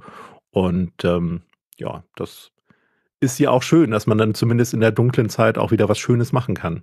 Mhm. Phil, bei dir habe ich gar nicht so das Gefühl. Bei dir ist, glaube ich, immer irgendwie laut meinem Gefühl so immer, da ist immer Action bei dir auf dem Bei Schreibtisch. mir ist immer Winter. bei mir ist immer Winter. Winter is coming. ja, genau. War Oppenheimer auch schon da bei dir, oder was? Ja. Winter is coming. Nö, hier ist immer Winter. Nö. Du brauchst dir keine Sorgen machen, da kommt nichts. Ah, Immer wird's nimmer, du. ah, Phil sitzt da mit seinem Tee in der Hand und dann und dann geht's ab. Ja, sehr Das schön. ist aber auch In ein cooler Rauchtee, Spruch ja. für so einen Kaffeebecher oder so einen Teebecher in dem Fall. Bei mir ist immer Winter. Sommerloch? Nö, bei mir ist immer Winter. Das erinnert mich an dieses geile Meme von, von, von Mattes, das er verschickt hat. Da sieht man halt so einen Adepten des Administrators und darüber steht halt, im Imperium ist immer Montag. Den kannte ich auch noch nicht. Jetzt schön. Oder um auf Stenkelfeld zurückzukommen, Weihnachten im Oktober. Oh ja, das ist herrlich. ja, klar. Ja. Stenkelfeld. Wenn ihr nicht Stenkelfeld kennt, wir verlinken euch das da unten drunter, dann versteht ihr auch meinen Opener, warum wir in der Siedlung Önkelstieg gelandet sind. Stenkelfeld. So, sehr schön. Ja. Okidoki. Wenn man jetzt natürlich nur noch einen Bundesdachverband hätte über Tabletop und Wargaming, die sowas als Standard natürlich auch bundesweit einführen würden, dann wäre das natürlich noch viel besser. Aber da kann Hauke mit Sicherheit noch was anderes drüber erzählen. Phoebe, welche, welche feine Überleitung. Oh, weißt du, Hauke, hier, Liebe geht raus. Okay, also, der ganze Aufhänger sind die Kollegen vom Nebensache Tabletop Podcast aus Österreich. Ähm, das sind zwei Jungs, äh, Markus und Philipp, und die hatten in einer letzten, einer ihrer letzten Folge, nämlich Nummer 109, hat Markus die Frage aufgeworfen, braucht es ein Tabletop-Dachverband? Ja, erstmal Grüße an die beiden. Ähm, Markus, also Markus Klammiker, äh, dem kann man durchaus nachsagen, da wird er mir jetzt, glaube ich, auch nicht böse sein, dass er nie um einen Spruch verlegen ist und ganz gut die Fresse immer aufreißt.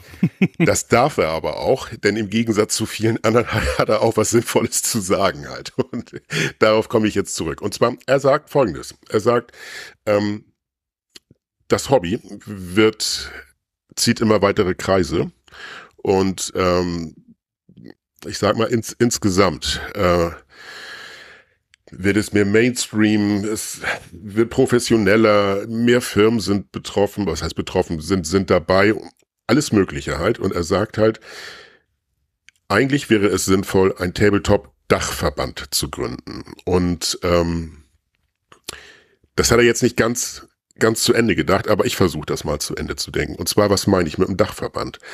Ähm, ein Verband, in dem alle anderen Tabletop-Vereine vereint sind, indem sie nämlich genau so was machen können, indem sie in einer organisierten Form äh, solche Turnierstandards zum Beispiel festsetzen können.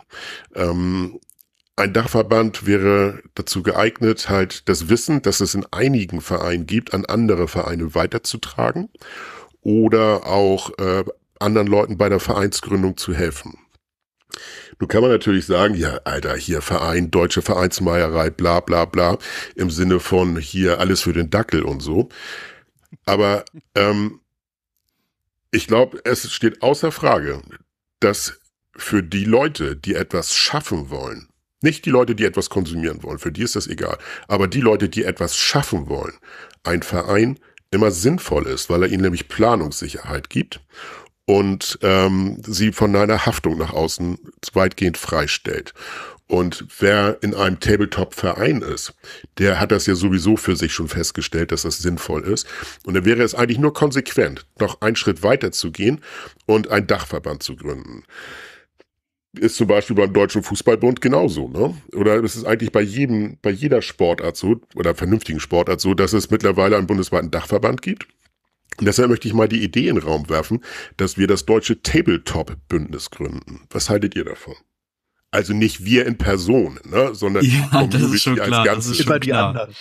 Ich, ich, nicht, nur, dass ich das jetzt nicht verwechsle. Ähm, das waren ja Österreicher, ne? Ähm, meinen die mit Dachverband DACH, also Deutschland, Österreich, Schweiz, oder ist damit einfach nur übergreifender Verband gemeint? Also das sind ja schon noch, ne, also wenn du jetzt sagst, einerseits Dachverband, was für mich in meiner Konnotation äh, DACH bedeutet, ähm, aber dann von einem Deutschen, also ne, deswegen die Frage. nee, da gibt, gibt Markus meinte, glaube ich, noch etwas anderes, aber ich habe diesen Gedanken aufgegriffen und was ich meine, ist tatsächlich auf, auf, auf Bundesebene, ne? also für okay. Deutschland. Weil dann könnte man auch mit mhm. Brust eine deutsche Meisterschaft machen. Ne? Also eine sanktionierte oder, quasi. Ja, oder Ligaspiele halt, ne? Was weiß ich, Freibeuter gegen Strategiespielfreunde aus Bad Emstal oder so halt. Das, das wäre halt alles drin, ne? Ähm, ihr werdet euch wundern, ähm, aber wenn Piwi mal so ein bisschen sein Google Fu anschmeißt, ähm, dann findet Piwi ja was. Und ähm, ich weiß nicht, ob ihr da schon mal was gehört habt von dem DVSI. Nein. Habt ihr noch nicht von gehört. Das ist nämlich der Deutsche Verband der Spielwarenindustrie e.V. Das heißt also, im Grunde genommen Gibt es dort schon mal eine Institution, die zumindest, sagen wir mal, äh, etwas mit Spielwaren ähm, per se zu tun hat? Jetzt lese ich euch mal so ein paar Sachen vor, ähm, was die Mitglieder angeht, die dabei sind. Und ich glaube, da werden euch einige von ähm, sehr bekannt vorkommen, die unter anderem auch bei uns mit in die Reichweite mit reinballern. So, ich fange einfach mal an. Da ist zum Beispiel die äh, Firma Faller. Die Firma Faller ist ja bei euch bekannt für Modellbau und äh, Bäumchen und Zubehör und so weiter und so fort. Ne? Ist ja durchaus auch mal in irgendeinem Spielwarenladen, den wir betreten, ähm, vor Ort. Sprich also, wenn wir irgendwie Turfs brauchen, wenn wir Tufts brauchen, was weiß ich nicht, was kennt man ja vielleicht schon. Ne? So, dann habe ich ein bisschen weiter geguckt. Dann ist mir die Firma Asmodee aufgefallen die dort Mitglied ist. Asmodee, die Firma, die quasi hier Star Wars Legion macht und äh, Shatterpoint und so weiter und so fort. Das ist doch, glaube ich, alles Asmodee oder haben die es mittlerweile abgegeben? Weiß ich jetzt gerade nicht. Aber auf jeden Fall haben die ja auch mal äh, Tabletops quasi gemacht. Ne? So, die sind da zum Beispiel mit. Ja, grundsätzlich stimme ich dir zu. Wir dürfen aber nicht einen ähm, Verein wie ein Sportverein jetzt mit so einer, ich würde es mal eher sagen, lobbyistischen Vereinigung verwechseln. Naja, aber was macht ein, äh, ein Dachverband denn eigentlich? Ein Dachverband macht Lobbyarbeit. Und genau das ist ja das von wegen so, was man ja eigentlich von, von einem Dachverband äh, möchte. Man möchte, dass der Dachverband nach draußen geht, ähm, sagt Hallo, auf sich aufmerksam macht, wir sind da, wir sind wer und wir machen Umsatz. So, und ähm, natürlich ist das Tabletop-Hobby ein, ein, ein, muss man glaube ich ganz ehrlich sagen, in der Spielwarenindustrie ein kleines Licht. So. Ähm, ich glaube aber, dass Hauke ja eher etwas meinte, so als äh, zentrale Anlaufstelle ähm, für Clubs, für Vereine, die ja, die einfach Unterstützung brauchen, die Informationen brauchen, die irgendwie ähm, wachsen wollen und ähm, ja, die vielleicht dann eben noch nicht so groß sind und nicht so erfahrene Mitglieder haben. Ähm, ja, und nicht alles alleine wuppen wollen, sondern ähm, Informationen einholen möchten, ähm, von Vereinen, von, von erfahreneren äh, Veteranen, die sagen können, ja, so gründest du einen Verein und äh, wenn ihr ein Turnier macht, denkt unbedingt daran und äh, wenn ihr Tag der offenen Tür macht, dann sollte das und das gemacht werden. Ihr müsst eine Versicherung haben, beispielsweise. All solche Sachen. Ähm, aber weniger, so habe ich zumindest auch verstanden, quasi für die Firmen, die sich dann irgendwie als ähm, ja, als mhm. Gemeinschaft organisieren und dann ähm, ja, vielleicht dann äh, Messeauftritte irgendwie anders angehen können und so, weil sie eben schon organisierter sind und nicht klein, klein dann ähm, bei einer großen Messe anfragen, ob sie da einen Tisch bekommen. Aber genau das ist das ja. ja. Das, genau das ist das ja. Wir haben diesen, diesen großen Dachverband und äh, ich war noch nicht fertig mit meiner Aufzählung. Wir haben zum Beispiel mhm. die Firma Hasbro damit bei. Hasbro sollte euch was sagen. Ja, Piwi, ich musste aber jetzt kurz dazwischen grätschen. Ja. Und zwar, ähm, Du hast sozusagen den, die Antithese gefunden von dem, was mir vorschwebt. Ähm, nehmen wir mal als Beispiel Games Workshop. Ja. Wenn, oder früher, wenn ein großes Turnier organisiert werden soll für Games Workshop Spiele, gibt es zwei Möglichkeiten, wie dieses Spiel organisiert wird. Mhm. Entweder vom Unternehmen oder von den Kunden. Und ähm, was mir vorschwebt, ist halt, dass sich die Kunden organisieren und zusammenschließen. Das, was Michael eben sagte, halt, dass man anderen, anderen Mitspielern, Spielern, Hobbyisten beim Aufbau eines Vereins helfen kann. Das ist ein großer Aspekt. Aber es gibt natürlich noch den anderen Aspekt, dass man natürlich, wenn man einen Dachverband hat, in dem viele andere Vereine mit Tausenden von Spielern organisiert sind, dann kann man natürlich auch geschlossen gegenüber Unternehmen auftreten und sagen halt, wir haben die und die Vorstellung. Das und das solltet ihr mal überlegen. Das ist nichts, was man dann irgendwie groß im, im Großen und Ganzen hier in der Öffentlichkeit propagiert. Ne? Aber natürlich ist es ein Unterschied, wenn du als Verband mit, sagen wir mal, 30.000 Mitgliedern an Games Workshop herantrittst oder als drei People aus Bad Emstal. Und äh, in diesem Sinne brauchen wir Lobbyarbeit, aber nicht für die Unternehmen, sondern für die Kunden. Und da ist jetzt genau mein, mein Ding, wo ich nämlich einhaken will. Ähm, in der Aufzählung zum Beispiel ist mir nämlich auch Games Workshop aufgefallen, die dort nämlich auch Mitglied sind in diesem Verband. Und ähm, klar, der Verband ist da äh, im Prinzip schon für seine Mitglieder auch da und macht natürlich auch die, eben diese genannte Arbeit. Aber wenn ich doch da jemanden hätte, der da Ansprechpartner ist, der genau für diese Fragen dann da ist, der dann sagt von wegen so, wie kann man Verein gründen und so weiter, der genau auf diese Sachen, die ihr gerade aufgezählt habt, darauf hinweisen würde, so nach dem Motto. Das heißt, wir müssten da ja eigentlich eine Stelle schaffen, bei diesem äh, Deutschen Verband der Spielwarenindustrie, der dann die Leute, die die Produkte ja auch von deren Mitglieder kaufen, beziehen, teilweise zumindest, dass die dort Unterstützung bekommen. Aber Piwi, mein Vorschlag ist im übertragenen Sinne, wir brauchen eine Gewerkschaft. Und deine, dein Vorschlag ist, okay, mit dem Arbeitgeber zusammen. Das, das, das ist es halt eben gerade nicht. Ähm, ja, ich verstehe das, dass, dass du sagst von wegen so, hey, ich will mich da äh, selber gewerkschaftlich, ne, sprich also eigenständig damit irgendwie aufmachen und so. Sind wir da nicht für ein bisschen wenig? Ich stelle ketzerische, ich stelle jetzt ketzerische Fragen. Genau deshalb werfe ich die Frage ja auf, ob wir das, ob wir das, äh, also zwei, zwei Sachen. Zum einen, ich finde, dass diese Frage diskussionswürdig ist. Was ich nicht diskussionswürdig finde, ist halt die Antwort, wir brauchen das nicht. Da, das ist kein Standpunkt. Ähm, denn man kann ja immer nur für sich selbst sprechen. Und wenn man für sich selbst spricht, man braucht sowas nicht, dann ist die logische Konsequenz, dann nehme ich daran nicht teil. Okay. Aber das sagt nichts darüber aus, ob andere das brauchen. Von daher ist meine Frage nicht, ob Phil, Piwi, Hauke oder Michael das brauchen, sondern meine Frage ist, wenn man so etwas machen würde, wie müsste es sein? Hm, okay, das ist, das ist eine andere Frage. Da, ähm, ja, da, da, kann man, da kann man darüber diskutieren, wie es aussehen könnte. Darüber können wir diskutieren. Auf jeden Fall. Ja. Ne? Und vor allen Dingen auch, was soll dann, sage ich jetzt mal, unser Dachverband, nennen wir es jetzt einfach mal, was, was, soll, was soll der tun? Ist wirklich der Bedarf da, dass man sagt, ähm, muss diesen Dachverband haben, weil wir so viele Anfragen haben, wie man einen EV gründet, äh, äh, wie man bei Turnieren unterstützen kann. Ist, ist der Bedarf wirklich so da?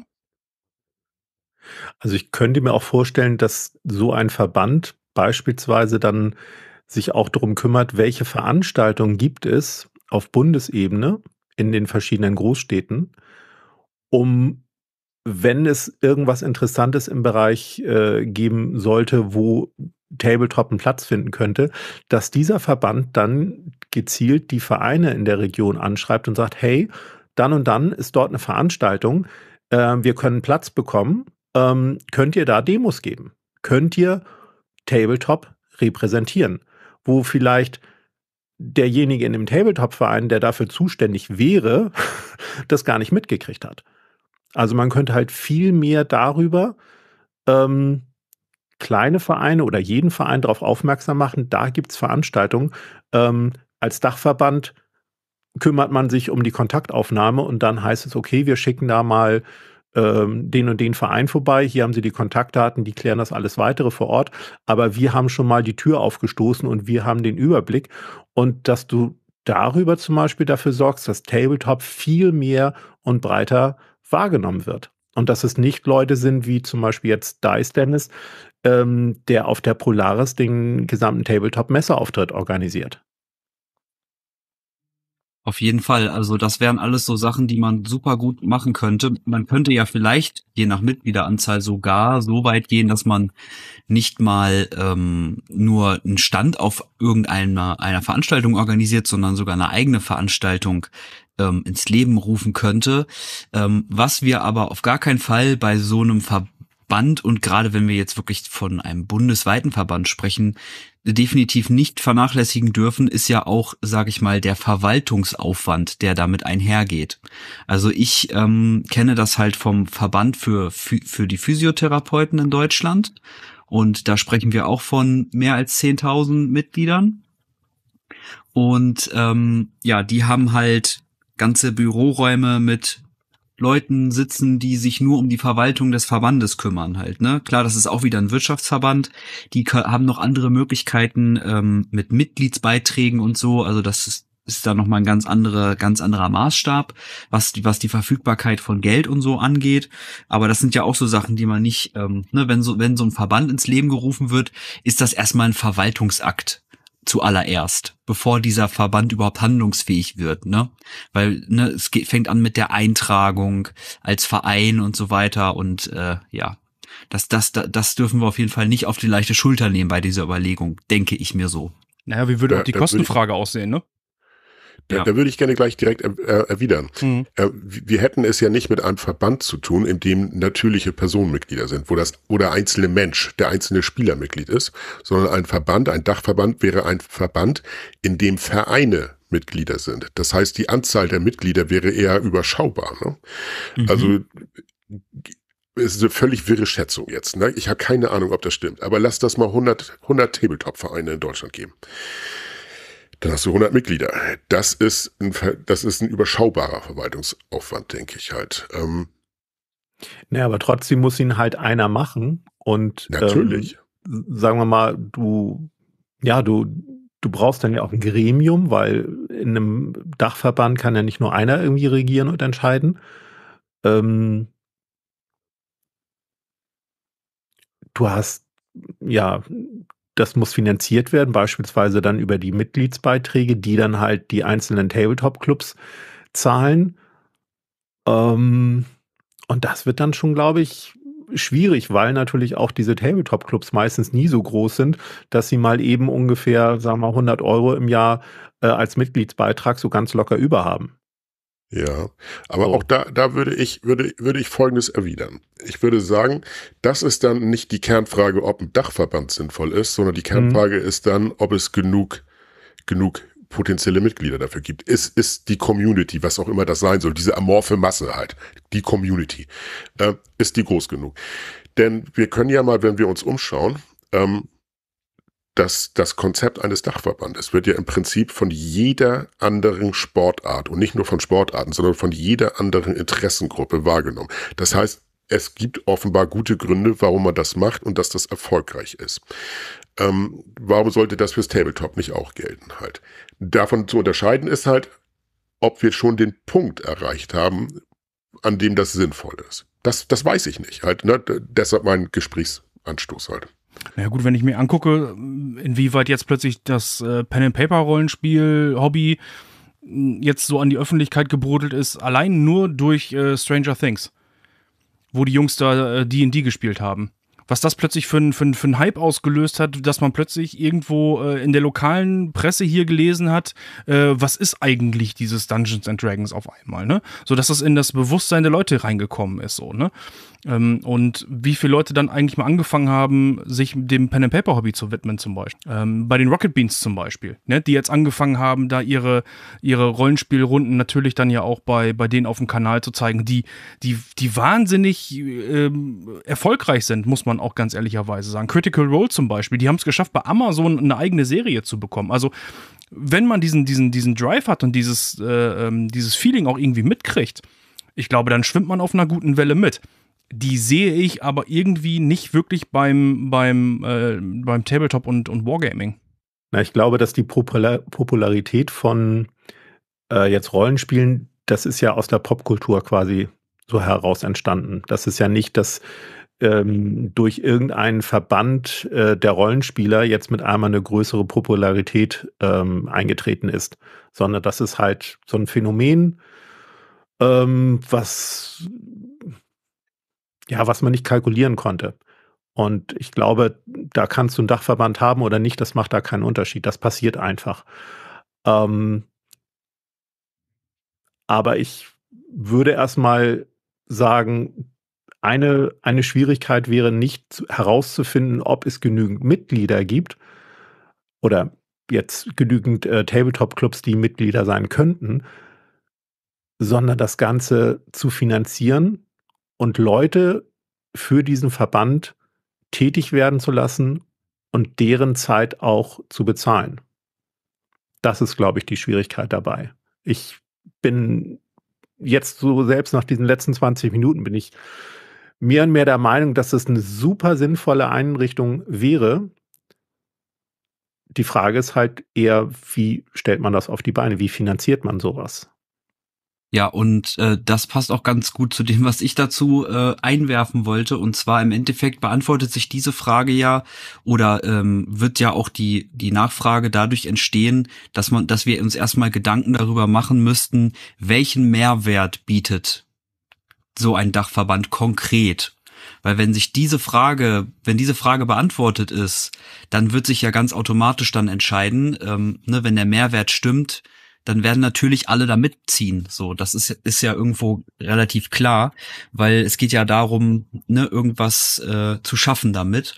Und diesen, dieser Mehrwert müsste im Prinzip am Anfang schon feststehen. Der muss nicht schon da sein, als äh, ne, nicht schon irgendwie materialisiert sein sozusagen, aber zumindest vom geistigen Auge muss so dieser, ähm, egal ob es jetzt ein ideeller Mehrwert ist oder halt auch wirklich ein, ähm, äh, ne, wenn es jetzt darum geht, irgendwelche deutschlandweiten Regeln einzuführen und sowas meine ich halt, ne? Also wenn's, wenn wenn wenn diesen wenn den Tabletop Club so viel Arbeit abgenommen werden würde durch diesen Dachverband, dass sie halt sagen würden, Mensch, das lohnt sich halt einfach so oder so für uns da teilzuhaben, weil wir dann einfach diesen, diesen, äh, äh, ja, Bundesstandard äh, quasi übernehmen können, ohne uns selber auch noch Gedanken machen zu müssen, weil das dürfen wir auch nicht vergessen. Die Hamburger und die äh, Hannoveraner und die Aschaffenburger, die haben ja alle richtig viel Hirnschmalz und Herzblut in ihre Turnierorganisation gesteckt.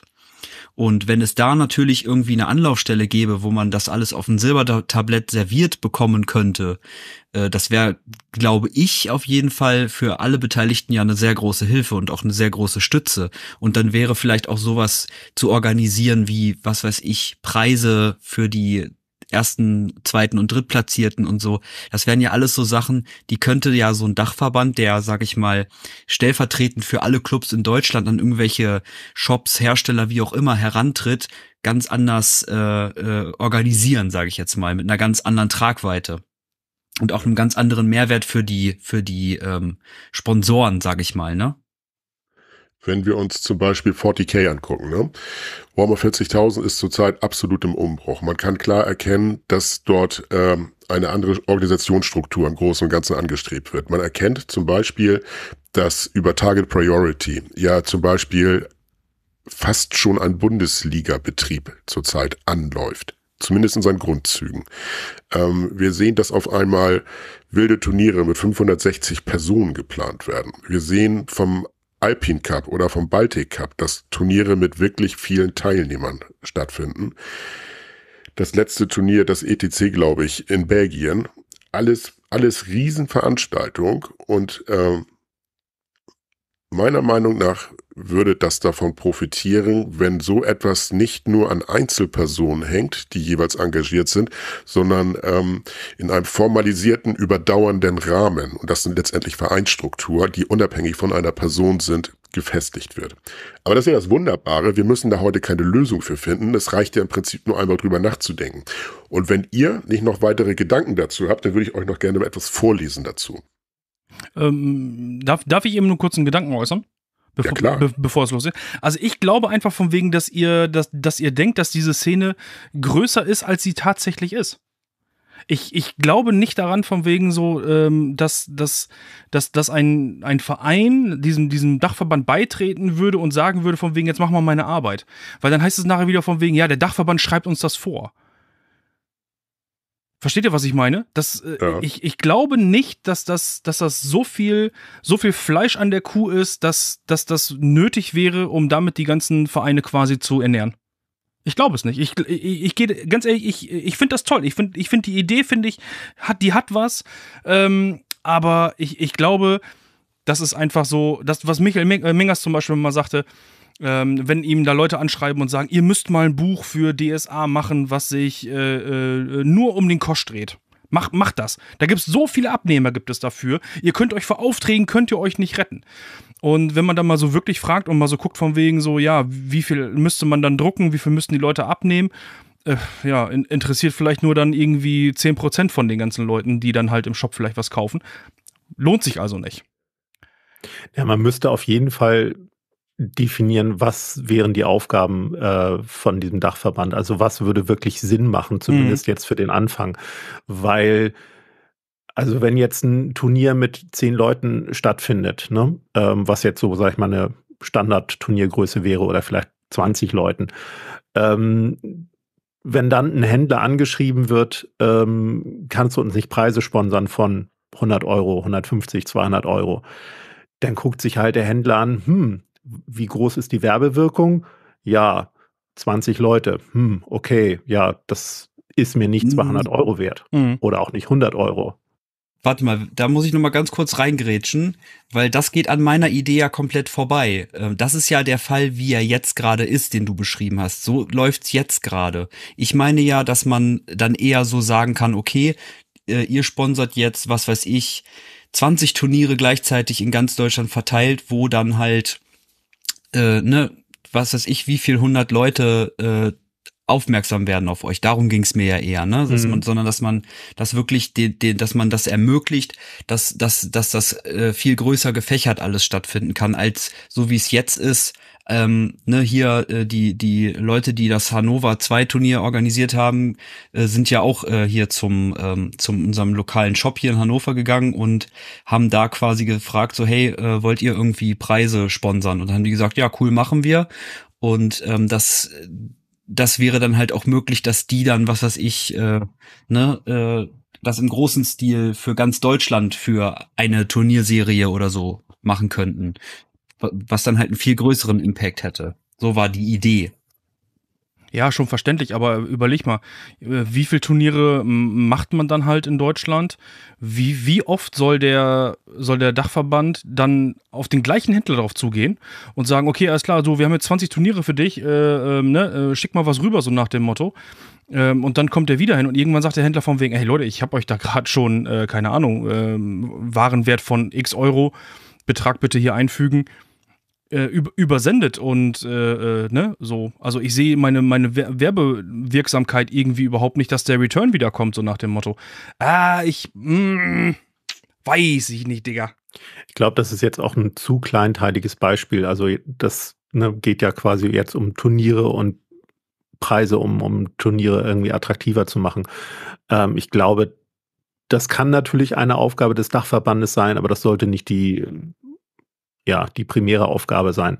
So, und das, das müsste man sich wirklich überlegen, was könnte ein kleiner Dachverband von einer kleinen Anzahl von erstmal Tabletop-Clubs, ähm, was wäre da sinnvoll, was könnte der leisten, wie viele Leute bräuchte man dafür, wie viele ähm, Stunden im Monat müssten dafür aufgewendet werden und was ist das Ziel oder was wären die Ziele mhm. dieses Dachverbandes? Also Wachstum, ähm, mehr Tabletop-Clubs, mehr Tabletop in der Wahrnehmung, in der Öffentlichkeit. Ähm, und ich sage mal, selbst so was Simples wie beispielsweise eine Website, was ist Tabletop? Also wenn du die Frage auf Google eingibst, dann findest du Artikel, aber du findest keine Webseite. Ja, genau. Das ist das, was Dennis, was Dennis ja immer macht, ne? So von wegen ja. hier, wenn du wissen willst, was Tabletop ist, dann klick mal hier oben rein, ne? Ähm, gen genau das, genau das meine ich. Also ich glaube eher so diese, ähm, diese Metafragen sind, glaube ich, dann eher für den, für den Dachverband, glaube ich, eher von, von Wichtigkeit. Ähm, dieses Hobby dann auch äh, über die, die nächste, die nächste Generation quasi äh, äh weiterzutragen. Ja, und ich glaube, das, das ist ein Problem im Prinzip von einem Großteil dieser ganzen Industrie momentan, weil wir einfach so viele kleine Kleinstfirmen auch haben, die nur aus ein paar Leuten bestehen und die alle gerade eher so denken, okay, die Leute, die jetzt schon Tabletop spielen durch Games Workshop, die versuchen wir so ein bisschen abzugreifen. Und das siehst du daran, dass es keine Starterboxen gibt, die oder kaum Starterboxen gibt, die so ausgestattet sind, dass du da halt wirklich von null mit dem Inhalt aus der Starterbox wirklich komplett ausgestattet bist und, und, und glücklich wirst. So richtig gute Starterboxen, das macht halt Games Workshop oder vielleicht auch, ähm, ja, sowas wie Star Wars Shatterpoint. Also, ne, das sind die großen Firmen, die dann auch die Erfahrung haben und die schaffen es dann eventuell auch, neue Leute ins Hobby zu holen. Games Workshop verbreitet ihre kleinen Minispiele für 30, 40 Euro, äh, die abgespeckten Versionen von Blood Bowl, von Warcry und so weiter als ja, Spielchen bei Thalia und bei Müller und da nimmt dann halt mal die Mama mit. So, für ihren Sohnemann. Mhm. Aber Moonstone kriegst du in keinem Shop. Also jedenfalls, äh, ja, wenn es ein Tabletop-Shop ist, aber. das kriegst du nicht bei oder, Edeka Müller, ne? Das ist. Genau, oder du Summoners kriegst du quasi auch nur auf Bestellung. So, Freebooters Fate äh, musst du auch im Internet bestellen. Also das, das sind halt alles dann schon so, das musst du wissen, um es kaufen zu können. Mhm. Und bei, bei Games Workshop quasi wirst du durch die Läden in der guten Fußgängerzonenlage wirst du drauf gestoßen und denkst so, hm, okay, guck ich mal rein. Ne? Ähm, du hast die, die Spiele bei Thalia und, und Müller stehen. Ähm, oder vielleicht auch das eine oder andere im, im Saturn habe ich letztens auch ähm, Star Wars Legion gesehen. Aber das wird dann halt schon schwierig mit anderen Firmen. Und was du gerade sagtest, Michi, dieses, äh, diese GW-Stores halt in der guten Innenstadtlage, ne? Also ähm, ich komme ja durchaus öfter mal rum und ähm, ganz ehrlich, ich bin noch bei keinem Games Workshop vorbeigekommen, wo ich wirklich sage, von wegen so, der liegt perfekt der liegt, also ganz ehrlich, die meisten Games Workshops, wo ich gewesen bin, das waren irgendwelche äh, Seitenstraßen, das waren irgendwelche teilweise heruntergekommenen Bauten, wo die unten drunter ihr Ladenlokal hatten. Ähm, ich habe noch keinen wirklich coolen GW gefunden, der zum Beispiel äh, mitten auf der Hohenstraße in Köln, direkt in der Innenstadt, neben Snipes und neben, keine Ahnung, wie äh, äh Pick und Kloppenburg, sag ich jetzt mal, direkt dort seinen, seinen, seinen Store hat, wo jeden Tag irgendwie irgendwie äh, gefühlt 10.000 Leute langlaufen. Also ich kenne ehrlich gesagt nur den in Hamburg und der liegt ja zwar in einer kleinen äh, Seitenstraße, aber auch gar nicht mal so klein, aber es, es ist äh, Jungfernstieg. Also das ist eigentlich beste, teuerste Gegend mit. Es ist nicht die ganz teure, aber ich sag mal, wenn du bei dem Games Workshop Laden rausgehst, dich nach rechts drehst, äh, dann kannst du den fetten Apple Store sehen. Okay. Also Gegenbeispiel hier aus Osnabrück zum äh, jetzt hier so zum Nennen. Ähm, du gehst in Osnabrück, gehst du durch die Innenstadt und so weiter. Wenn du nicht wüsstest, dass du dort abbiegen musst, ähm, dann kommt am Ende der Straße, kommt auf der rechten Seite ein Warhammer Store. Ähm, da ist aber nichts mehr. Das ist quasi wie so eine, wie so eine tote Sackgasse ist das da hinten. Also da verlieren sich wirklich nur die Leute, die auch wirklich wissen, dass dieser Store da hinten ist. Ja, und ich sag mal so, hier in Hannover, ich weiß nicht, äh, wem das ein Begriff ist, aber hier ist der Games Workshop direkt am Steintor, also. mhm. Das klingt erstmal wichtig. Das klingt erstmal wichtig und groß und schwer. Ja, also äh, das ist so, ähm, sage ich mal, ähm, das ein ganz besonderes Viertel. oh, das klingt jetzt also, positiv oder negativ? Ja, mehr will ich dazu nicht sagen, das ist gefährlich. Okay, okay, okay. Wenn du, wenn du morgens um vier besoffen aus der Sansibar kommst, dann kannst du noch ein bisschen bei GW ins Schaufenster gucken halt. Okay, alles klar. Ich werde mir das mal bei Google Maps angucken. Aber es ist generell ein sehr, sehr spannendes Thema. Aber Hauke, du wolltest uns noch irgendwas vorlesen jetzt gerade. Genau, ich, ich, jetzt habe ich noch einen Punkt. Und zwar, ähm, die, die, aus, aus meiner Sicht ist, ist der wichtigste Gesichtspunkt, der für ein Dachverband spricht, dass ein Dachverband es einem erlaubt, einen Ligabetrieb zu haben. Und das bedeutet nicht weniger, als dass wir vom Einzelspieler beim Turnier zum Mannschaftsspielen in regionaler Ebene umsteigen.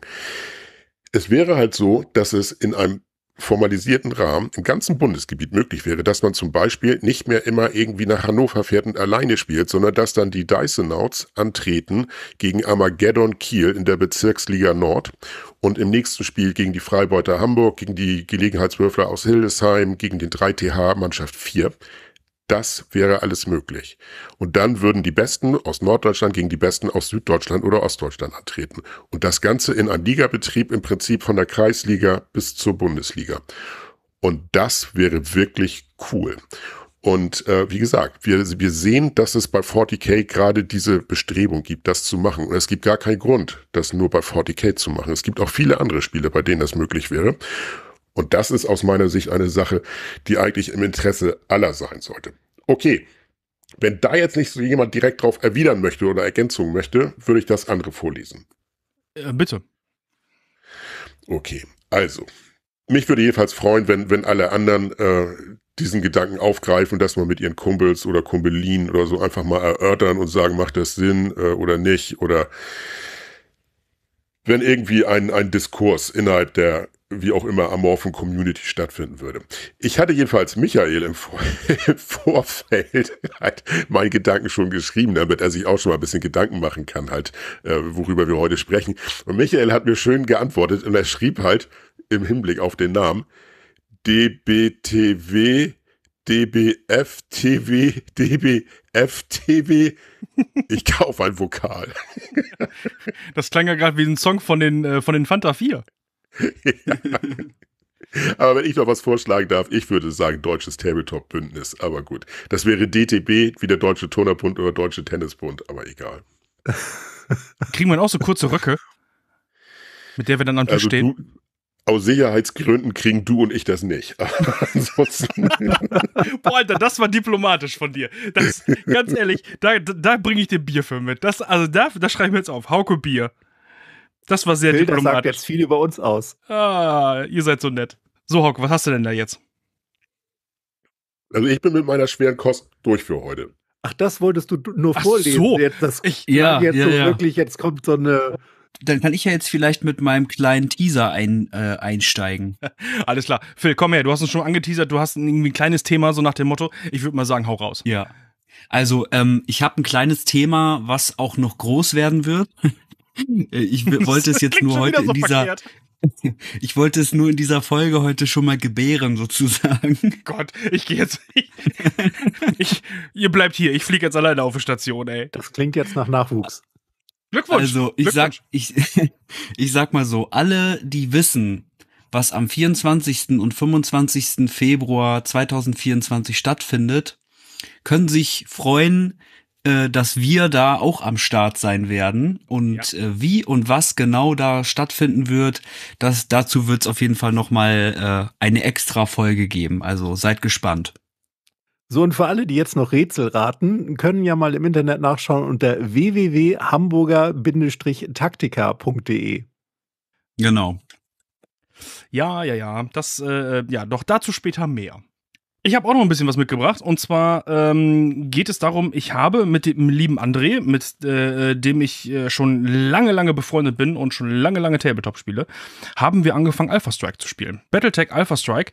Wir haben uns äh, mal die Box geholt und wir haben hier so ein paar Mechs einfach mal ähm, uns äh, bemalt und alles war schicki. Und dann haben wir uns getroffen und haben Alpha Strike gespielt. Und äh, das war das, was ich in der letzten Folge euch eigentlich schon erzählen wollte. Und ähm, wir haben das erste Spiel gemacht ähm, aus aus dieser Box ähm, und das war ein sehr, sehr ähm, interessantes, lustiges, schnelles Spiel, ähm, wie man Battletech vorher sonst noch nicht gespielt hat. Also ich zumindest noch nicht. Und ähm, ich muss euch ganz ehrlich sagen, ich habe da so einen leichten Hook drauf gekriegt, dass ich mit André jetzt halt auch relativ äh, versuche, regelmäßig dann auch Battletech zu spielen, sprich Alpha Strike. Weil ähm, man hat viele Mechs auf dem Tisch stehen und über die Karten, was die Mechs können, ist es relativ einfach dann halt auch zu gucken von wegen so, äh, wie weit kann der Mech schießen, wie weit kann er sich bewegen etc. pp. Und es bietet sehr viele taktische Geschichten da einfach mit drin, weil es ist sehr wichtig von wegen so, wie man quasi seine Mechs halt auch zieht ähm, damit sie auch in der perfekten Schussreichweite sind, weil wir haben drei Reichweitenbänder im Prinzip, mit denen wir dann halt auch spielen. Dann äh, geht es darum, von wegen, wie viel Hitze hat ein Mech dann nachher abbekommen und so. Es war wahnsinnig, wahnsinnig cool. Und wir treffen uns jetzt, jetzt nächste Woche Freitag treffen wir uns und werden dann ähm, die nächste Geschichte dort spielen ähm, aus dem, aus dem Einsteigerheft. Und ich kann es wirklich nur empfehlen. Also alle Leute, die schon mal Battletech gespielt haben und noch nicht Alpha Striker äh, gespielt haben, das sollten sie wirklich mal ausprobieren. Denn das ist wirklich eine, eine neue Erfahrung, wie man schnell Battletech spielen kann. Ich weiß nicht, Michi, du wahrscheinlich Battletech ähm, eher so nicht so wahrscheinlich, ne? nicht so wahrscheinlich, äh, ja, ganz bestimmt. Also ich habe Battletech bislang immer nur beobachtet, ähm, aber niemals aus der Nähe und auch ja, hab's entsprechend nie gespielt. Mhm. Also, und Alpha Strike ist jetzt simpler als Einsteiger-Variante oder was ist Alpha Strike? Also, sorry, wenn ich da so äh, okay, Frage. Nö, ist relativ einfach. Also das normale Battletech ist halt, ähm, dass du ein, eine Karte hast, auf der Hexfelder markiert sind. Mhm. Und ähm, es hat so ein, so ein, ich will nicht sagen, so ein, so ein, so ein Brettspielcharakter, aber du ziehst halt deine Mechs halt über diese, diese Hexfelder rüber. Ne? Und diese Hexfelder haben verschiedene Höhenlevel zum Beispiel, die dir nachher Vor- oder Nachteile bringen, je nachdem, auf wie du da stehst und so weiter. Und äh, wie weit so ein Mech schießen kann, wird dann halt über diese Hexfelder auch dementsprechend ermittelt. Und also so ein bisschen mehr so in die Brettspielgeschichte rein und auch so ein bisschen mehr in die Sache Simulation, muss man ganz ehrlicherweise sagen. Also auf wie viele Tabellen man bei Battletech äh, normal würfeln kann, das ist abgefahren. Also so viele Tabellen habt ihr bestimmt in einem Spiel noch nie gesehen, worauf man würfeln könnte. Ähm, und Alpha Strike ist genau, sag ich jetzt mal, so ein bisschen so dieses Gegenteil. Das geht mehr so in unsere Geschichte rein, also mehr in diese Tabletop-Sache. Das heißt also, die Mechs können frei übers 3D-Feld ähm, gezogen werden und ähm, oh. wir haben keine, keine festgelegten Hexfelder mehr, wo wir uns drin bewegen und äh, Deckung ist ein bisschen anders. Und äh, ja, eigentlich ein, ein, ein sehr, sehr schönes Spiel. Und ich bin froh, dass ich das den Jungs dann, wenn sie dann hier sind, ähm, ein bisschen zeigen darf. Also von daher. Ich weiß, dass ich die nicht großartig damit andocken werde und anfixen werde. Ähm, aber ich finde von wegen, man darf das ruhig mal als äh, Horizonterweiterung nutzen. Und wie viele ähm, Mechs äh, kontrollierst du so in dem, in dem Spiel? Also, weil das klingt ja relativ aufwendig, wenn du sagst, so viele Tabellen und ähm, simulationslastig, dann sind es ja wahrscheinlich eher nur so zwei, drei, vier Modelle. Ja, ja, so Seite. No ja, normales Battletech-Spiel ähm, hast du, glaube ich, vier Mechs. Äh, Hauke, wenn du wieder da sein solltest, korrigier mich. Ich glaube, ich glaube, da läuft gerade ein schweres Missverständnis. Ähm, Piwi, Piwi ja, spricht von dem sogenannten Classic Battletech. Ähm, und Alpha Strike ist, ist das krasse Gegenteil. Alles, was an großen Einzelwerten bei Classic Battletech genommen wird, wird eingedampft auf einen anderen Wert. Und bei Alpha Strike hast du Figuren, äh, die haben die Lebensdauer eines normalen Infanteristen bei einem Skirmisher. Das, das macht gar keinen Unterschied. Das ist jetzt keine komplexe Maschine, sondern die, die Werte dieses Battletech, Battle sind so runtergedampft, dass du im Prinzip wie in einem Skirmisher spielst. Und äh, das ist derartig vereinfacht, dass es zügig von der Hand geht. Im Gegensatz zu Classic Battletech. Das stimmt. Da gebe ich dir ah, okay. Aber im normalen Battletech hast du halt vier oder fünf Mechs hast du normalerweise da stehen auf dem, auf diesem Spielfeld mit den Hexfeldern die du da durch die Gegend ziehst. Und äh, bei dem Alpha Strike hast du halt, äh, lass mich jetzt lügen, ich glaube 12 bis 14 Mechs da irgendwie rumlaufen. Kannst auch mehr spielen. Kannst auch, keine Ahnung, wie viele Mechs da auf dem, auf dem Tisch ballern. Okay. Also sehr schön. Ich freue mich drauf, äh, dass ich, wie gesagt, das den Jungs zeigen kann und ähm, wo, wollen wir mal gucken. Also von daher einfach mal so ein bisschen so was Neues reinschnuppern. Ne? Genauso wie wir das gemacht haben, als wir uns bei Hauke getroffen haben, dass man einfach mal in so ein paar andere Sachen einfach mal reinschnuppert. Ja, und ich denke, wir sollten uns ja gar nicht so leicht geschlagen geben. Ich glaube, bei nächster Gelegenheit zeigen wir Michael einfach mal Alpha Strike. Also mehr als das Scheiße finden kann er ja nicht. Und vielleicht findet er es ja auch gut. Das wollte ich. Hast gehört, Michael? Ja, ich bringe ne? das Gelände mit. Darfst nicht Scheiße finden. So. Keine Sorge, ich glaube, das wird nicht passieren und äh, ich bringe Gelände mit, weil dann kann ich es da lassen. Ich habe ja keinen Platz mehr. Hauke, wir spielen bei dir. Alles klar. Aber man muss ja auch ganz ehrlich sagen, also wenn, wenn, wenn von uns vier Personen drei das Spielen gut gefällt, dann ist die Wahrscheinlichkeit, dass das dem vierten dann auch an sich irgendwie zuspricht, relativ hoch. Also ich kann mir nicht vorstellen, dass wir etwas total super finden und Michael das richtig ätzend. Also so, so verschieden, glaube ich, sind wir da alle nicht gestrickt. Also Nein, ich glaube, das Grundproblem ist einfach zu viele geile Spiele und zu wenig Zeit. Ah, endlich das spricht stimmt. es mal einer aus, genau. End, ja, das, genau das ist das. Genau das ist das. So, früher hatten wir Zeit, aber kein Geld und heute haben wir Geld, aber keine Zeit. Aber deswegen war früher nicht alles besser. Ach komm, das war schon irgendwie cool, wenn du dann einfach, keine Ahnung, irgendwie äh, eine Tupperdose einfach hingestellt hast und hast gesagt, von wegen, das ist jetzt ein Berg. Ähm, ja, du hast, genau wie du sagst, irgendwie was an Gelände genommen oder äh, du hast ja keinen Kopf drum gemacht äh, um eine Hausregel, du bist nicht losgezogen, ja, hm, wie ist denn das jetzt mit dem Turnier, was für eine Liste muss ich machen, sondern du hast einfach mehr Spaß gehabt und mehr gespielt und alles war ein bisschen unbeschwerter. Und ich glaube, das ist vielleicht so eine Begleiterscheinung beim Älterwerden, aber vielleicht auch durch die Zeit, dass du dich einfach durch das Internet so viel mehr austauschen und so viel mehr auch mit anderen Leuten vergleichen kannst, im positiven wie im negativen Sinne. Also es ist ja nicht alles schlecht durch das Internet geworden, aber ähm, wenn du halt beispielsweise immer nur ja primär geile Bilder von, von irgendwie geil bemalten Miniaturen siehst, hm, demotiviert dich das vielleicht eher bei mhm. einem neuen Projekt, als dass es dich unbedingt motiviert. So. Das ist wohl richtig. Und ähm, ja, wenn, ja, keine Ahnung, also müssen wir jetzt nicht vertiefen, aber ich würde auch gerne, so wie hier Bier und Brezel Tobi, eigentlich jede Woche ein neues Spielsystem ausprobieren, aber die Zeit habe ich nicht. ähm, und ich muss auch sagen, ich bin, ah, ich glaube, so von allen Hobbyaspekten, die es so gibt, ist so Regel lesen und Regeln dann irgendwie auch wirklich verinnerlichen und verstehen äh, das kommt für mich, glaube ich, mit an letzter Stelle. Also ich spiele total gerne, ich lasse mir dann gerne Sachen erklären und sage auch, nee, komm, passt schon, ne? wir machen das jetzt erstmal so, das muss nicht ganz genau sein. Hauptsache, ne, wir lernen das Spiel jetzt erstmal kennen und, und haben Spaß. Aber wenn ich so ein Regelbuch hier erstmal vor mir habe, denke ich so, okay, 20 Seiten, 30 Seiten lesen, verstehen, hm, ausprobieren, überlegen, hm, wie könnte das gemeint sein? Äh, wenn es nicht ganz klar formuliert ist, dann so, ach nee, ich baue doch lieber Gelände. Ey, komm, dafür hast du Summoners aber ganz, ganz super erklärt. Also, äh, ne? ja, äh. das, das ist ja auch ein einfaches Spiel. Also, ja. das, was du halt wissen musst, ähm, ergibt sich oder steht auf den Karten. Das sind die Fähigkeiten der Figuren und die Grundmechaniken bei Summoners, die sind halt wirklich einfach. Und wenn ich mal irgendwas nachschlagen muss, tatsächlich im Regelbuch, dann ist es meistens immer ein und dasselbe. Ah, wie war das nochmal mit der Lösenprobe, wenn du im Nahkampf bist und du willst da rausgehen? Welche Modifikatoren gibt das? So, mhm. Weil du das einfach nur gefühlt alle zwei, drei Spiele einmal benutzt. Mhm. Und das muss ich nachschlagen. Ja.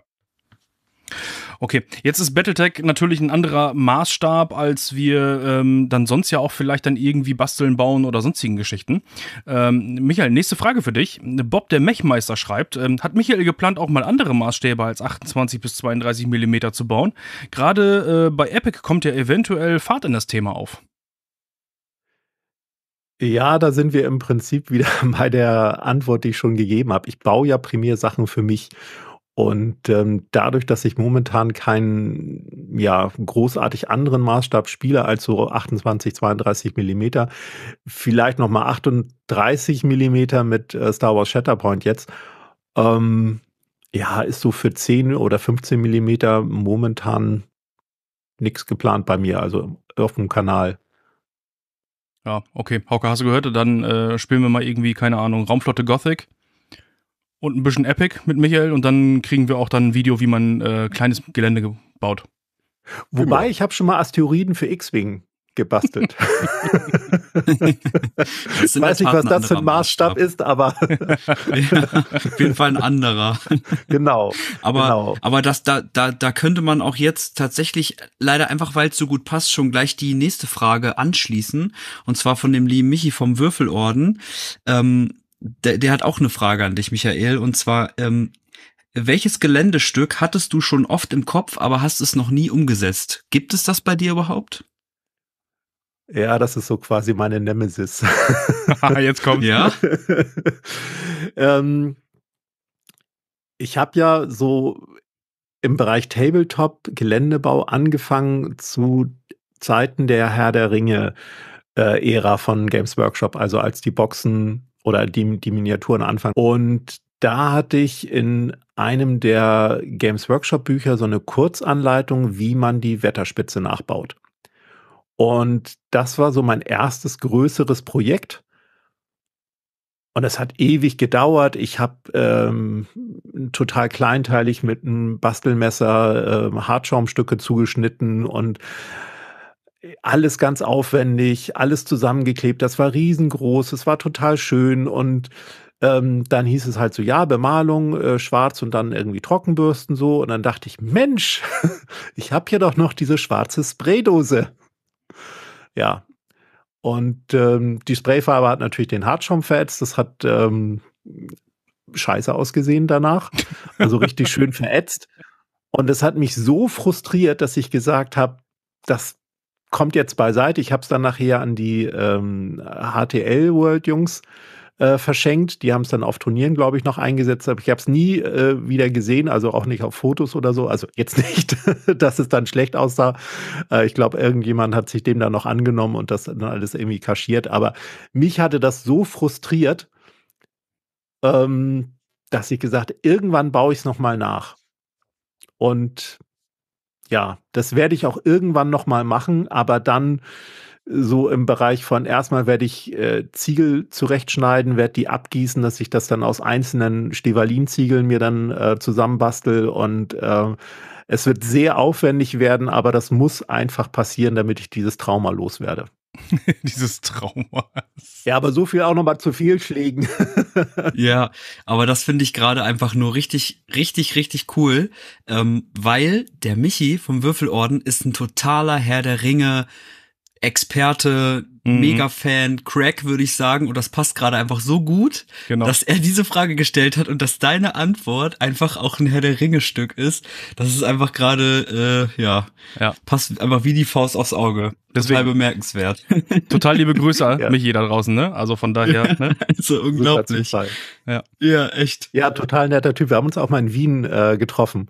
Ach, cool. Da war ich in Wien und äh, cool. hatten uns dann verabredet, waren zusammen Kaffee trinken und so. Ähm, total nett. Ja, mega. Super, super geil. Ähm, wir haben dann noch eine Frage, äh, die ich da so gefunden habe. Und die kommt vom äh, Zinnsoldaten. Ob du schon mal ein historisches Bauwerk für deinen Spieltisch gebaut hast? Oder ob das vielleicht auch mal in Videoform geht oder irgendwie sowas. Er schlägt zum ähm, Beispiel die Dunkerkirche vor.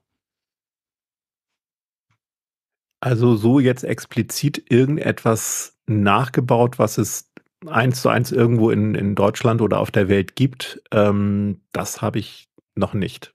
Ähm, inspiriert mal das ein oder andere, was ich mal so fotografiert hatte, ähm, wenn ich irgendwo im Urlaub war und dann gesagt habe, ja, das ähm, baue ich irgendwie nach, das schon. Aber so eins zu eins ein reales oder ein historisches Gebäude, nee, habe ich noch nicht. Und ich glaube, wenn, dann wird es wahrscheinlich irgendwie eine coole Burg sein. Mhm. Ähm, wobei so aktuell, ähm, ich gucke gerade die Serie Castlevania auf Netflix und da reizt mich einfach dieses Castlevania-Schloss. Ah, das ist super, so. ne? Weil das sieht einfach so herrlich abgedreht aus und es wäre halt so eine 90 mal 90 oder 120 mal 120 Spielplatte, die dann nur der Sockel ist und dann geht das Ding zwei Meter bis zur Decke. Ähm, das wäre schon cool, ja. Es wäre ein Hingucker auf der Taktika. Ah, das und ich glaube, es wären Videos bis auf jeden Fall, sagen wir, 31.12.23. Ja, aber es wird dazu, glaube ich, höchstens dann ein äh, so, das Ding ist fertig Video geben. okay. Weil die einzelnen Bastelschritte, das wäre dann doch zu episch und zu, zu langwierig. Also es müssen auch manchmal Sachen abseits der Kamera entstehen. Also das, muss ich einfach machen, weil ähm, jedes Mal, wenn ich natürlich für den Kanal irgendwas bastel, dann überlege ich mir, hm, wie muss ich was zeigen, äh, was muss ich, ähm, wie muss ich es überhaupt bauen, was lasse ich weg, weil es vielleicht zu kompliziert ist, zu aufwendig, um das zu erklären oder auch ähm, vielleicht bestimmte Leute ausklammert, die eben noch nicht so erfahren sind, die dann sagen, nee, das, das packe ich so nicht. Ne? Es soll ja möglichst jedermann nachbauen können. Mhm. Und all diese Gedanken mache ich mir natürlich. Und ich kann ja auch nicht dann so am Basteltisch äh, bequem sitzen unbedingt, sondern ne, die Kamera steht da. Ich muss dann immer darauf achten, dass alles im Bild ähm, richtig gut zu sehen ist. Und wenn ich nur mal für mich dann bastel, dann muss ich mir um diese ganzen Sachen keinen Kopf machen. Dann bin ich halt wirklich nur für mich, dann mal ich, bastel und das muss einfach auch ab und zu sein. Also das ist dann ja, damit es auch noch Hobby bleibt, das Hobby. Ja, sehr geil. Ich hätte jetzt vorgeschlagen, die Festung Ehrenbreitstein in Koblenz zu nehmen, aber ähm, das ist jetzt ein anderes Ding. Hauke, breit ist Schicken auch. Grundriss. Schicken, Schicken Grundriss. Das auf jeden Fall. Aber Hauke, breit ist auch das nächste Thema. Du hast nämlich auch äh, quasi uns die Warhammer-Miniatur vom diesjährigen Warhammer Day rausgeholt. Und jetzt bin ich gespannt, warum du das mit aufgenommen hast. Okay. Das war echt eine ähm, sehr passende Überleitung. Er ist der König der Überleitung heute. Ah, ich habe einfach Bock heute. Das ist richtig geil heute mit euch. Oh, Habt ihr ehrlich. alle die, die, die Warhammer, also die, ne, es, es droht ja der Feiertag Warhammer Day, ne? Also Games Workshop hat den Warhammer Day erfunden. Und äh, kennt ihr die Figur, die da an diesem Tag, diese Sonderfigur, die an dem Tag, äh, die für diesen Tag erschaffen wurde? The Ancestors Wrath.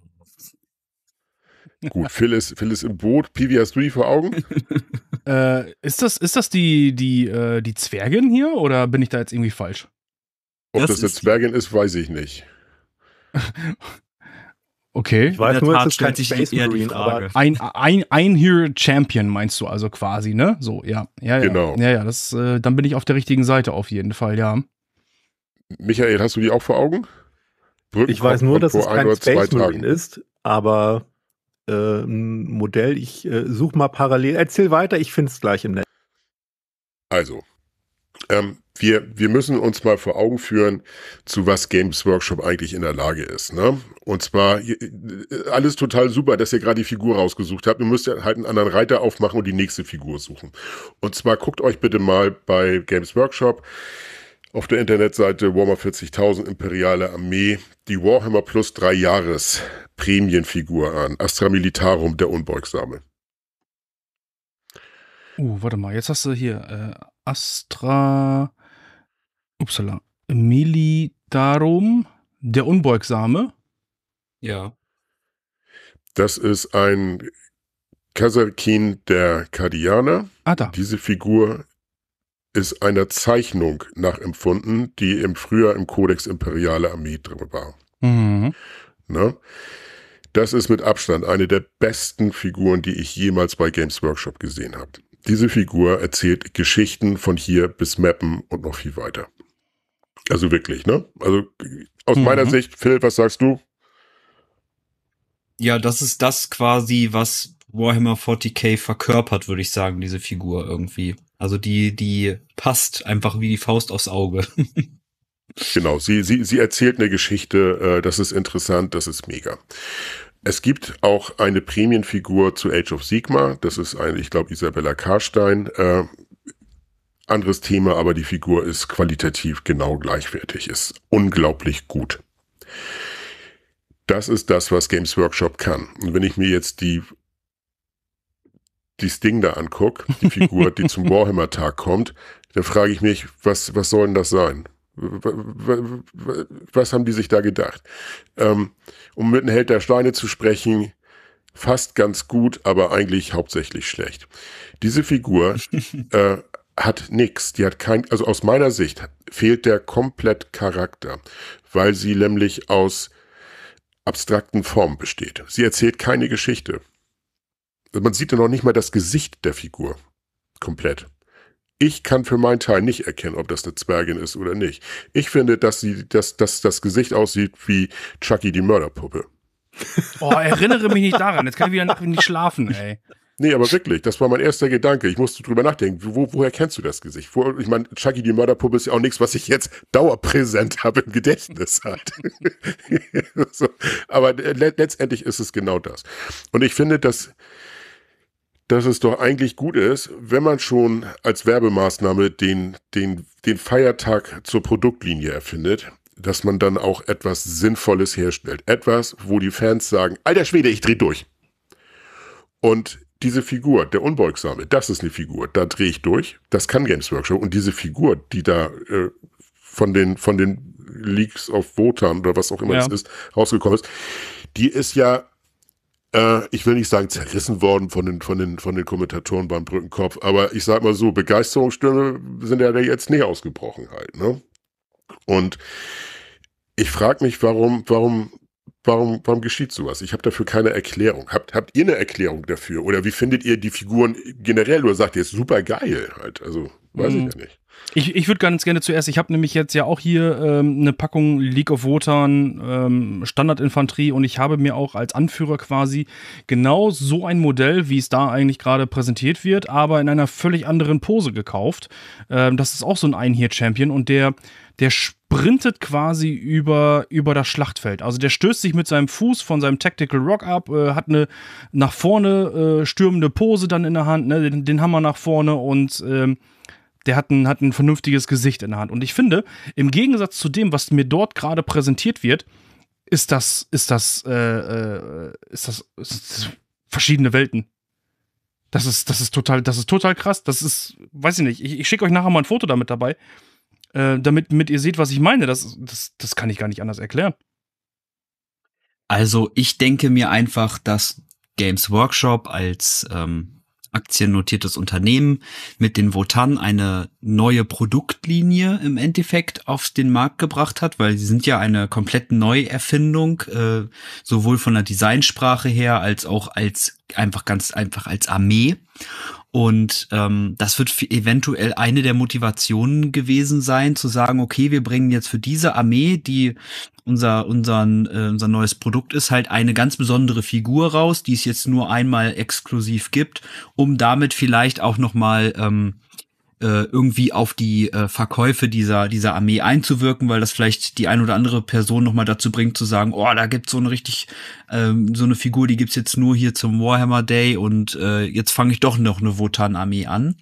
Andererseits muss man sich ja auch mal irgendwie vor Augen führen, wir haben ja nicht irgendeinen Warhammer Day, wenn man es jetzt mal wirklich von der Warte aus betrachtet, sondern das ist irgendwie das 40. Jubiläum jetzt.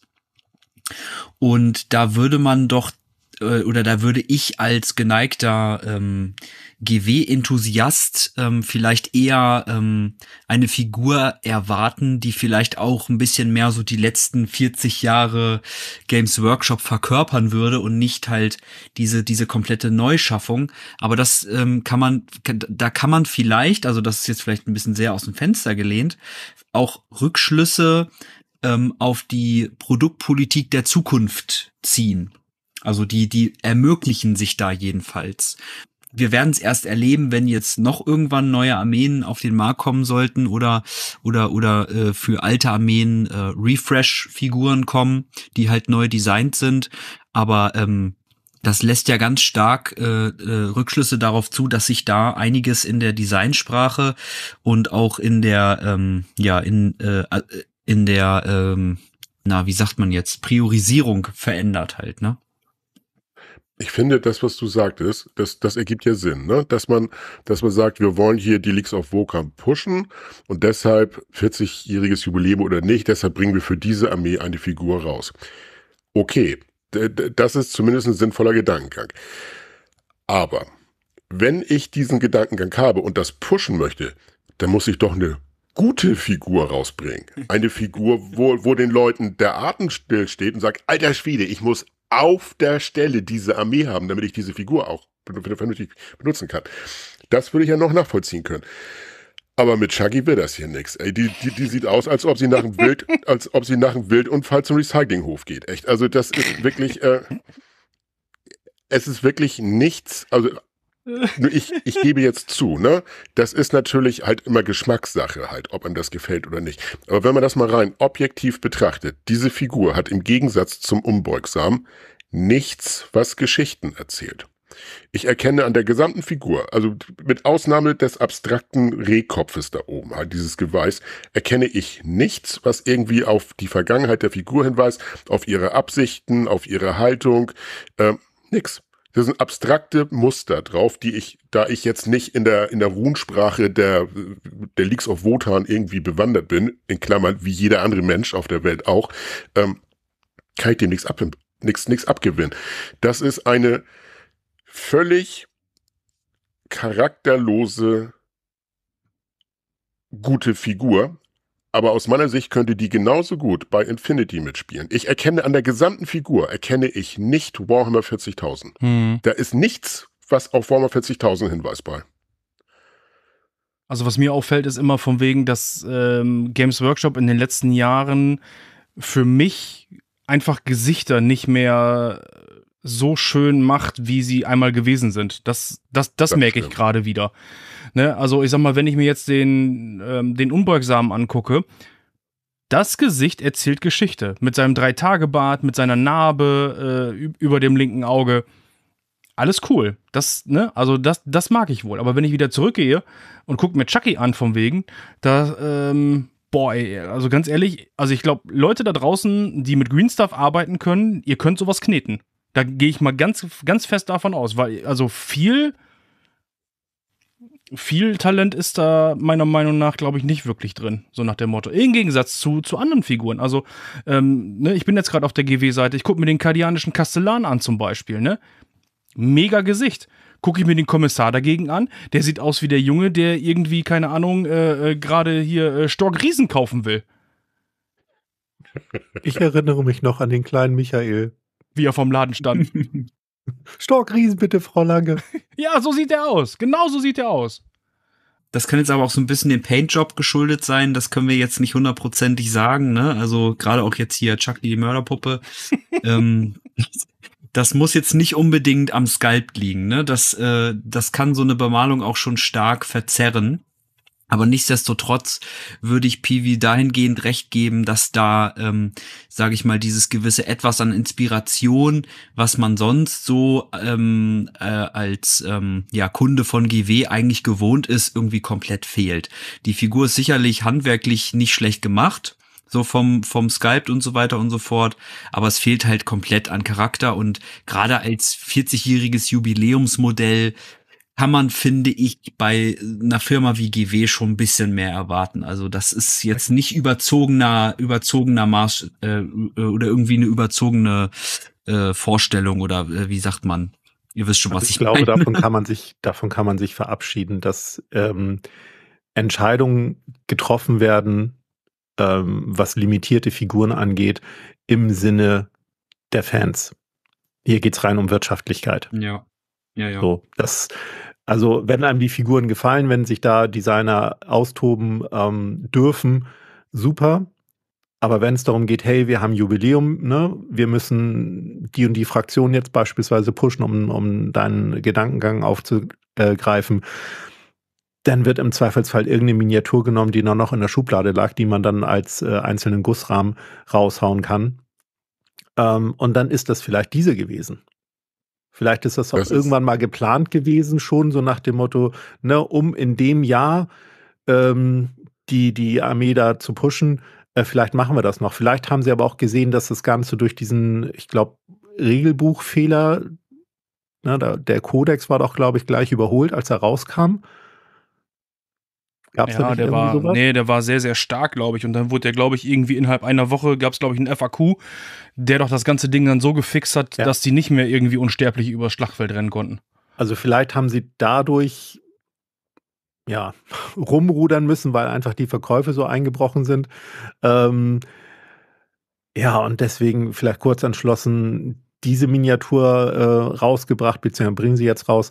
Ähm, keine Ahnung, aber man darf doch wirklich nicht von einem Aktienunternehmen erwarten, hey, das machen sie für die treuen Kunden, für die treuen Fans, die seit Jahren, Jahrzehnten ähm, Produkte kaufen.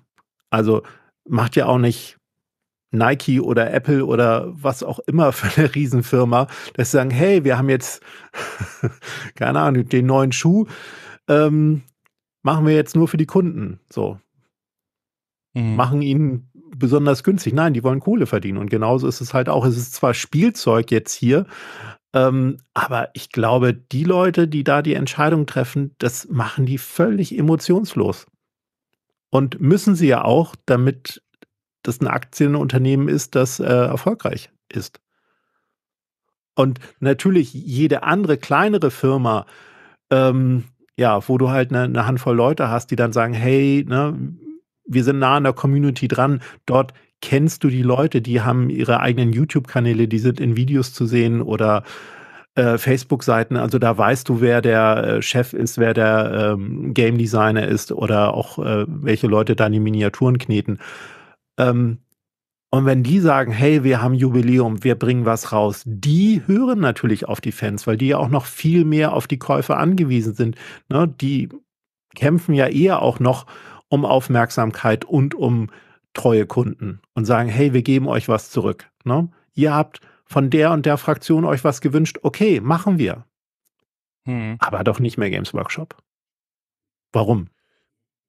man muss ja Games Workshop klar zugestehen, dass das sind ja keine Idioten in der Firma. Ne? Die wissen ganz genau, was sie tun. Und ähm, es gibt einen YouTube-Kanal, The Painting Face, ähm, da tritt zurzeit immer wieder halt Peachy auf, der Maler von Games Workshop, der ja nun auch nicht mehr bei GW arbeitet. Und der erzählt da so ein bisschen aus der aus, der, aus dem Nähkästchen. In einer Folge hatten sie ein, ähm, ein Designer für Hobbymaterial als Gast da, der da zwei Stunden lang referiert, wie er zum Beispiel den Handflamer Sprühpistole entwickelt hat für Games Workshop.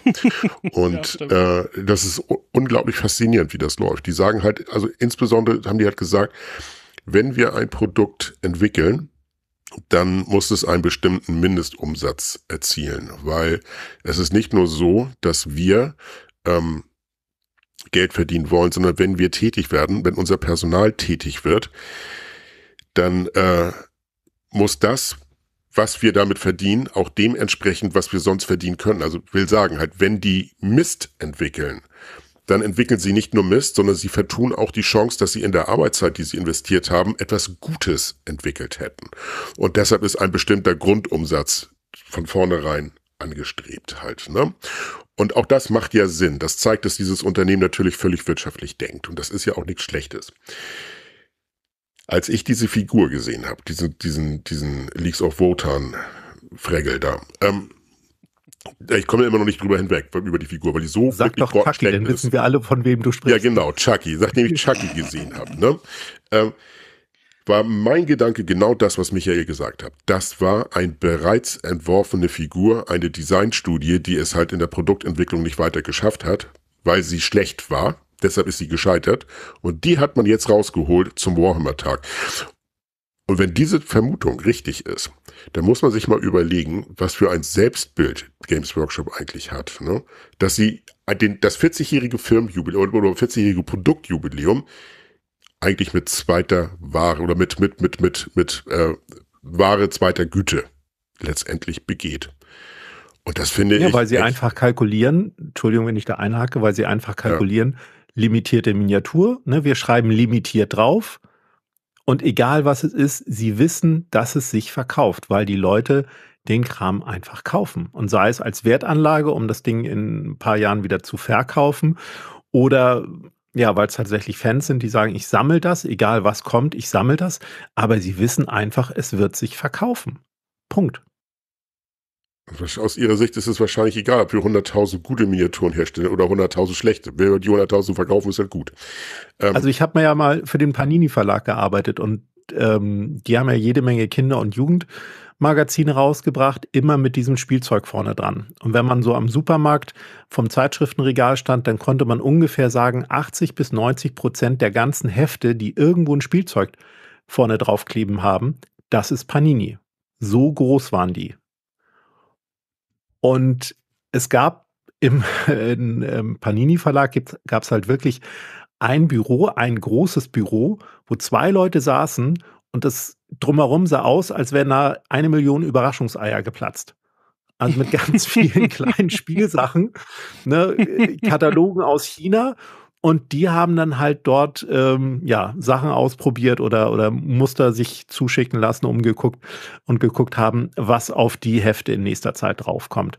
Und da habe ich nicht im Scherz, aber so vielleicht noch ein bisschen im Scherz, aber schon mit einem guten Körnchen Wahrheit den Spruch gehört: Wir könnten ein leeres Heft verkaufen oder ein leeres Heft anbieten, wenn ein geiles Spielzeug drauf ist, verkauft es sich.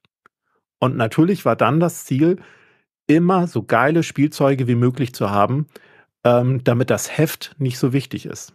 Damit die Kaufentscheidung, die das Kind dann ja fällt am Supermarktregal, ne, es sieht das Spielzeug. Das Heft ist eventuell in der Tüte eingeschweißt, da kann der Knirps oder, oder das kleine Mädel ja auch nicht reinblättern, aber es sieht das Spielzeug. So. Und das äh, bewirkt die Kaufentscheidung, beziehungsweise das Quengeln bei den Eltern, Mami, kann ich das Heft haben? Vor allen Dingen, was ich mir so, was ich mir dabei so ergibt, äh, ist ja, ist ja auch die Erkenntnis, du kannst so ja auch Hefte an Kinder verkaufen, die gar nicht lesen können. Das ist ja gar nicht relevant in dem Moment für das Kind. Es sieht das Spielzeug und will das haben. Und was in dem Heft steht, kann es eh nicht lesen im Zweifel, weil es vielleicht noch zu jung ist oder noch gar nicht, ne, und noch nicht lesen gelernt hat und trotzdem möcht, verkauft man dann Hefte halt an Menschen, die gar nicht lesen. Also das ist schon irre. Ja, und um jetzt quasi zu GW wieder zurückzugehen, ähm, wenn sie limitiert draufschreiben, es ist egal, was da drin ist. Viel schlimmer finde ich jetzt gerade, ich bin, während ihr gerade darüber gesprochen habt, einfach mal bei Facebook vorbeigefahren und habe mir den Beitrag rausgeholt, den dann äh, Games Workshop bzw. Warhammer dann ja online gestellt hat, zusammen mit der Figur für den Games Day. Oder Warhammer Day, wie es dann jetzt so heißt. Und ähm, allein dieses, die, diese, diese Reaktion auf negative Kommentare von Games Workshop, die fand ich immer schon schrecklich. Ne, also hier sagt einer von wegen so, hm, do I need another one? Und macht so ein, so, ein, so ein Smiley, der sich so wirklich dann so Zeigefinger und Daumen so an den Mund hält und überlegt, ob er das braucht, ne? Und natürlich Warhammer sagt dann von wegen so, hm, yes. Ähm, nein. Also, ähm, die überschlagen sich hier mit, ähm, mit, mit, mit Lob teilweise, wo ich mich echt frage, äh, Leute, ey, was, was los hier bei euch? Nee, aber das ist ja auch nicht Games Workshop, sondern das sind Mitarbeiter, die instruiert wurden, so zu antworten. Deren persönliche Meinung spielt dabei ja überhaupt keine Rolle, sondern das ist vom Unternehmen vorgegeben, wie sie dort aufzutreten haben. Ja, das ist mir schon klar, aber ganz ehrlich, ähm, glaubt Games Workshop eigentlich, die Leute, die das lesen, äh, nehmen, das, nehmen das für voll? Also äh das ist, das ist der Firmenchefetage doch völlig egal. Also da ist einfach eine Produkt Richt, äh, eine, eine, ähm, eine Firmenrichtlinie, die eingehalten werden muss. Die ist definiert worden. Wir machen auf Social Media äh, das und das. Und wenn dann Negativität kommt, dann versuchen wir das grundsätzlich in irgendwas Positives umzudrehen. Wir gehen nicht auf Kritik ein. Wir diskutieren nicht mit den Leuten. Naja. So. Aber und den, ja. besten, den besten Kommentar, ja, da habe ich gerade ein Like für gegeben. George Tunaro hat geschrieben, ist das Chucky?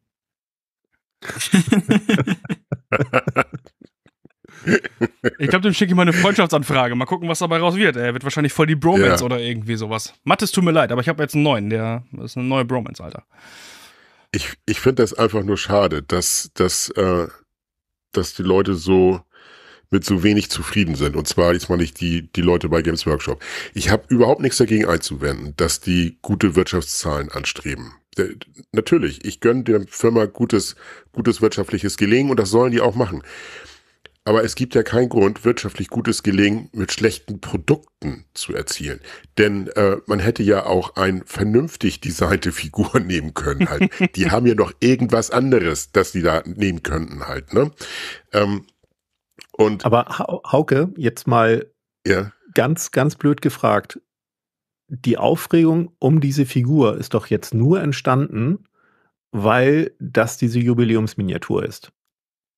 Und ich hätte, wenn, ja. wenn, wenn, wenn das jetzt nicht draufstehen würde, dann würde diese Figur kaum Beachtung finden, sage ich mal. Vielleicht gar keine Beachtung. Und wenn du aber als Kunde sagst, dir gefällt diese Miniatur nicht und du möchtest viel lieber diese andere Figur haben, ähm, ist halt blöd, weil da jetzt nicht das, das Jubiläumsemblem drauf prangt auf der, auf der Packung. Aber dann kauft ihr doch einfach diese Figur. Und sag so, in der Zeit, die ich jetzt mich schon über diese über, über Chucky geärgert habe, da hätte ich die andere Figur schon zusammengebaut, vielleicht sogar schon grundiert. Der Witcher hätte ich schon angemalt. Oh, der Witcher, da ist er wieder. Oh. Ich hatte euch das Foto geschickt, oder? Ja, das stimmt, das stimmt. Das war wirklich gut. Also, ich fand's wirklich gut. Ich finde, ich finde, dass das, das Frappierende ist doch eigentlich, hätte man, äh, was man hier gemacht hat, unterstellen wir mal, dass es korrekt ist, dass die einfach sagen, wir haben hier eine gescheiterte Figur recycelt und nochmal wirtschaftlich Gewinn bringt eingesetzt. Okay. So kann man Geld verdienen, natürlich. Aber, und jetzt bei dem Beispiel, wir hätten unsere Arbeitskraft auch anders einsetzen können. Hätten die eine sinnvolle Figur gemacht, eine Figur, die dich einfach umbläst. Und dann sagst du, alles klar, die Figur muss ich haben und alle ihre Kumpels auch. Das wäre doch viel sinnvoller. Das wäre doch, das wäre doch ein wirtschaftlicher, vernünftiger Weg halt. Das wäre doch etwas weiter gedacht. Aber gut, es ist halt so, wie es ist. Aber das wird halt. erst passieren, wenn sich jetzt quasi diese Jubiläumsminiatur ähm, nicht so gut verkauft. So, dann erst passiert ein Umdenken. Oder könnte ein Umdenken passieren. Aber ähm, sobald da limitiert draufsteht, werden es die Leute ja eh kaufen. Und das ist GW halt gewohnt.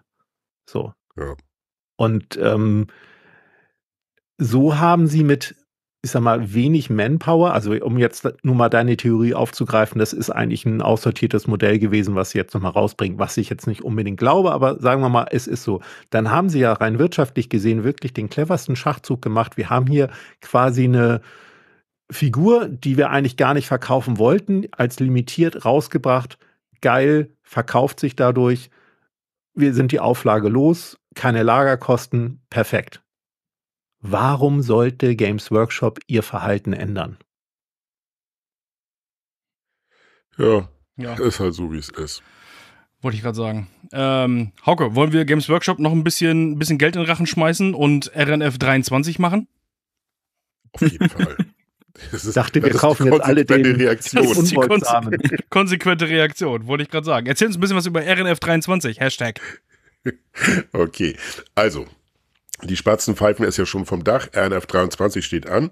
Ähm, ich wollte ganz kurz einmal vorstellen, was ich, also, ich mache erstmal einen Zeitplan. Also, Oktober findet natürlich kein RNF 23 statt. RNF 23 beginnt mit dem 1. November und geht halt bis Ende des Jahres. Ähm, ich werde mich konzentrieren auf die Untoten und äh, alles andere außer malen, also sprich zusammenmalen, zu, zu, zusammenbauen, grundieren, äh, fehlende Teile besorgen, vielleicht fehlende Truppen noch besorgen. So, das ist mir alles im Oktober. Aber ab November steht die Armee hier fertig auf dem Tisch grundiert und wird bemalt. Und ähm, ich bin einfach total geflasht, dass die Leute immer noch im, im, im Kanal bei Discord RNF23 durchziehen und äh, da auch voll motiviert sind. Also das sind jetzt keine Heerscharen, das sind einige Leute, aber da, das reicht ja schon. Man braucht ja nur einige Leute, um eine Sache nicht alleine zu machen, sondern gemeinsam zu machen. Und äh, ich freue mich da richtig drauf. Piwi, bist du mit am Start? Ich bin sowas mit am Start, mein Bester. Ich bin nämlich dabei, äh, 1000 Punkte Goblins äh, hier fertig zu malen. Die sind ausgedruckt, die stehen hier schon und sind heute grundiert worden mit meinem neuen Superspray, was ich habe. Falls ihr es gesehen habt äh, bei Instagram und so weiter, guckt noch mal rein. Ähm, und es werden 1000 Punkte Zwerge werden. Ui. So. Jetzt Wie viele ihr. Modelle sind das? Äh, von den Goblins, das ist, also ich habe jetzt nach RNF, also hier, äh, nach RNF, nach OPR-Regeln habe ich mir die quasi aufgebaut hier. Das sind gar nicht viele. Äh, lass mich mal gucken. Äh, 10. Ah, lass es 50 Modelle sein. Mit allem drum und dran. Das ist nicht viel. Mhm. Ja, da muss ich noch, noch ein bisschen gucken. Also die Liste habe ich schon soweit fertig, auch 1000 Punkte. Das bewegt sich, glaube ich, nachher dann so im Bereich von vielleicht 30, 35 Figuren. Mehr ist das gar Krass. nicht. Deswegen, also die werden, da gehe ich ganz hart ran und das äh, habe ich Phil zum Beispiel schon, äh, schon gesagt, ähm, dass die, die Goblin-Armee, die wird ähm, fast ausschließlich mit Contrastfarben bemalt und dann kommt da unten ein vernünftiges Base drauf und ich habe schon einige ähm, Testmuster habe ich schon soweit fertig, gefällt mir auch sehr, sehr gut, muss ich ganz ehrlicherweise sagen. Jetzt bin ich nur am überlegen, ob ich die äh, Michael-Martin-Methode mache, um einfach hier sage, ich bürste nochmal mit dem Beige von oben nach unten einfach mal so ein bisschen trocken bei der Mini. Ähm, oder ich ziehe Quickshade von Ami Painter drüber. Das weiß ich noch nicht. Mach das, was Michael sagt. das, Und wenn es kacke aussieht, bin ich schuld. Ja. Ja, ist schon klar. das, das war doch gerade mit so einem mit so, mit so einem Jedi-Mind-Track oder irgendwie sowas mit der Handbewegung, oder? Ich habe gerade irgendwie, weiß ich nicht, genau. ich habe gerade irgendwie, Das ist nicht die Technik, die du suchst. ich habe so fünf Sekunden genau. gerade irgendwie überhaupt irgendwie, als ob ich gerade woanders war. Genau. Du Ich habe willst ganz keine schlechten Einfluss auf euch. Oh, apropos Squeaks, ich habe keine Squeaks, sondern ich habe äh, Frösche. Mega witzig. Mega. Das sind, Geil. Das ist ja cool. ich, äh, ich poste Killerkröten? Ja, so, ja, ohne Scheiß. Die sind so geil. Ich poste Bilder davon. Ich bin voll auf Goblins gerade, ey. Die sind so krank. Die kommen von Highland Managers. Also, wenn ihr die noch nicht kennt, von Highland Managers. Ähm, ich poste da meinen Link unten auch in die Shownotes mit rein. Ähm, die sind einfach nur genial. Also, wenn ihr wirklich was sucht, was ihr noch zwischen eure äh, Goblins packen wollt, äh, Highland Managers. Um nochmal die Brücke zu Moonstone, deinem Lieblingsspiel, Piwi, zu schlagen. Mein Summoners. Nein, ich meine das richtige Moonstone. Ach so. Ähm, such da mal nach Goblin Airship. Goblin Airship. Das tue ich Goblin jetzt. Airship Moonstone. Ja. Moonstone. Weil das ist ein cooles Goblin-Modell. Uh. Warte. Ich glaube, das ist so eine aufgepustete Kröte, der so wirklich Ja. die Augen schon rausquellen. Es ist, ein, es ist genau das, was bei mir eigentlich dann genau fehlt. Und dann hängen unten drunter hängen Goblins quasi in so einer, in so einem Ball-Turret von, von, von so einer B17 äh, und, und ballern nach vorne hinweg. Das ist, Genau. das ist abgefahren. Ja, das ist Ja, dein erstes Moonstone-Modell. Nein, nein, nein, nein, nein, nein. Ich habe. Ohne äh, Warhammer Day. Nein, ich habe, ich habe wirklich, äh, ich habe mir äh, Goblins gekauft oder hier, wie heißen die noch hier, die, die Boys hier, hätte ich jetzt fast gesagt. Ähm. Oh, ich finde es jetzt nicht wieder. Bro Brothers in Arms sind das. Die habe ich. Diese Box habe ich mir gekauft. Von Moonstone. Von Moonstone. Ah, Was hast denn das gemacht? Ey, ich kann das auch mal machen, ohne dich immer zu fragen, Phil, ne? Das heimlich. kannst du nicht bringen. Jawohl, ich habe das einfach mal gemacht, ne? Ich habe das bestellt, ne? Einfach so, ohne dich zu fragen, ne? Total witzig. Also das sind, Ey, das, das geht gar nicht, ey. Ey, weiß ich, ne?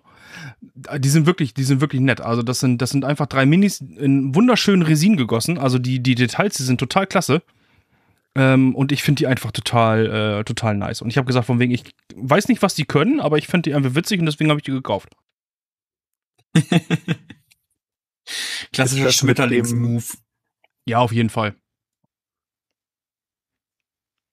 Da drin ist Young Jack, Gradok und Morris sind da drin. Ah, okay, die, die Box ist das. Ich hatte Gnome gerade noch äh, Beaky Bobby im Kopf und äh, Duck the Flatulent. Ah, nein, die sind, also, die sind toll. Ich habe keine Ahnung, was sie können, ähm, aber ich habe mir gedacht, von wegen so, das sind einfach so, so drei Minis, die kann ich mal so ähm, ohne Quickshade und keine Ahnung was bemalen. Also so klassisch halt, ne? So, so Schichten und solche Geschichten. Wollte ich da eigentlich dran machen. Mhm. So, aber bevor wir jetzt noch äh, zu sehr nach Moonstone abdriften. Du meinst das Summoners? äh, ich meine Summoners, äh, Moonstone. Äh, ähm, äh, wir waren ja eigentlich gerade bei RNF 23 gewesen und äh, ich habe mich natürlich auch nicht lumpen lassen. Genau wie bei RNF 22 werde ich wieder versuchen mitzumachen. Ich sage bewusst versuchen, weil ähm, RNF 22 ist bei mir kläglich gescheitert. Ähm, ich habe mir, glaube ich, einfach zu viel vorgenommen. Und ähm, ich habe mir dieses Jahr, äh, weil ich die noch, die schon seit Ewigkeiten rumliegen habe, vorgenommen, eine äh, Saurierarmee ins Feld zu führen. Ähm, und habe dafür jetzt eigentlich auch schon soweit, bis auf die Bases eigentlich auch schon soweit alles äh, ready und ich werde mal die äh, Torksche Methode quasi ähm, für mich selber äh, ausprobieren und werde auch versuchen, bis Ende Oktober alles soweit äh, quasi auf der Base stehen zu haben. Gebased wird ja zum Schluss, ne, Hauke? War das so? Wie, wie du möchtest. Also, Aber du machst das zum Schluss, das Streu drauf.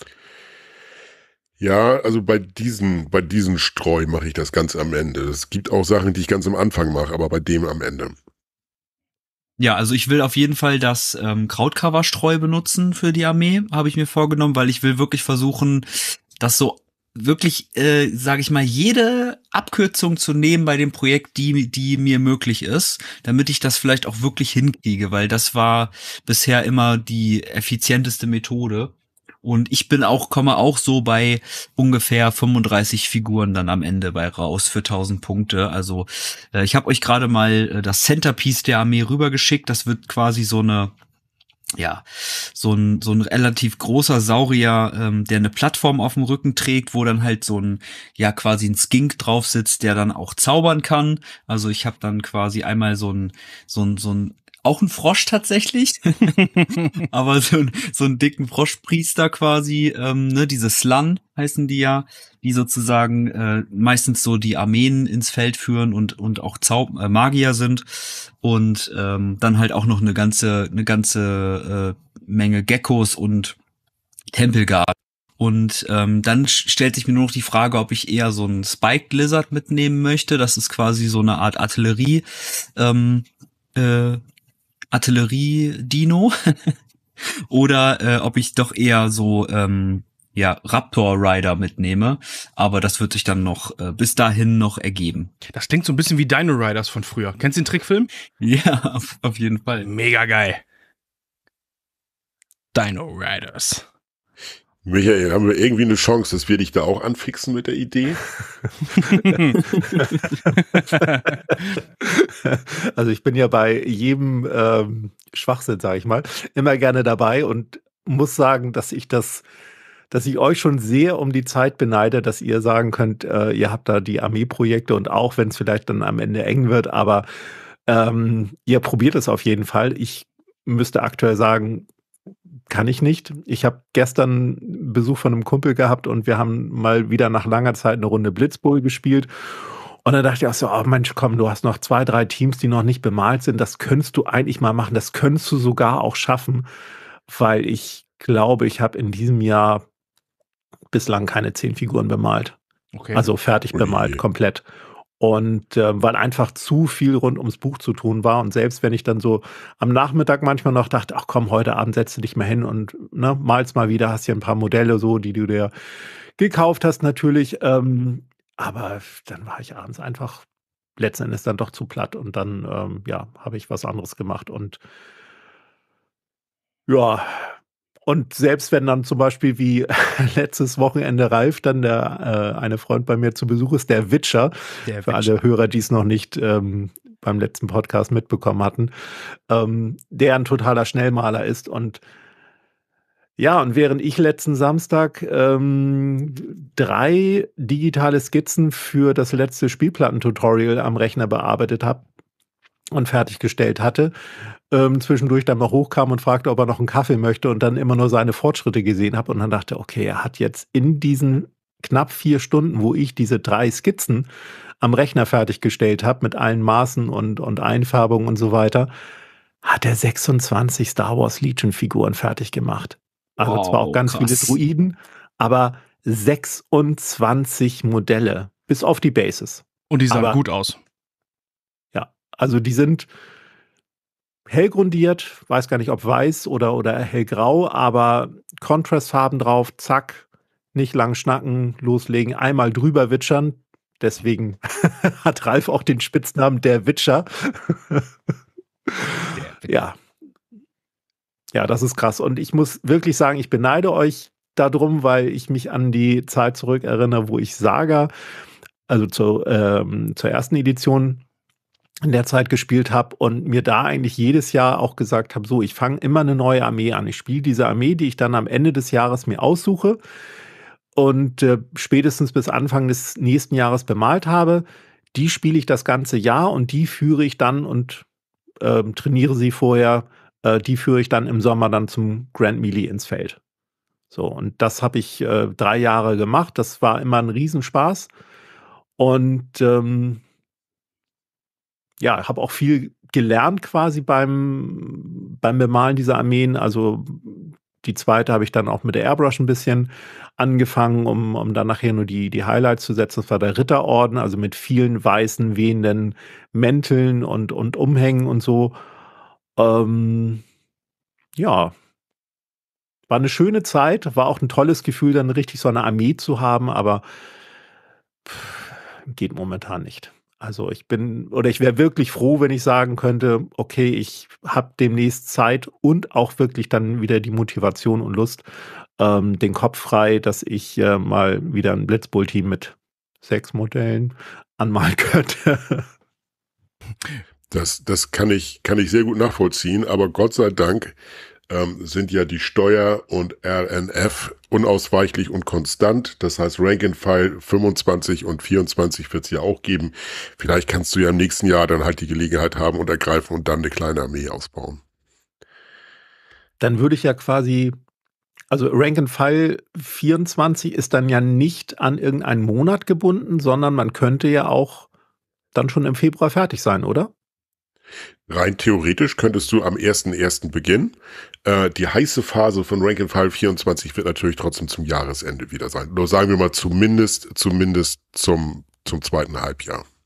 Und während in Villarivo noch gemalt wird, wird in Villa Bajo schon gespielt. Ja, okay. ja.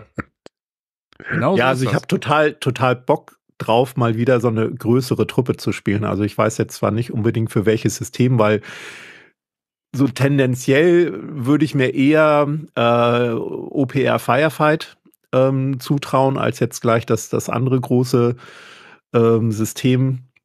Aber ja, wer weiß.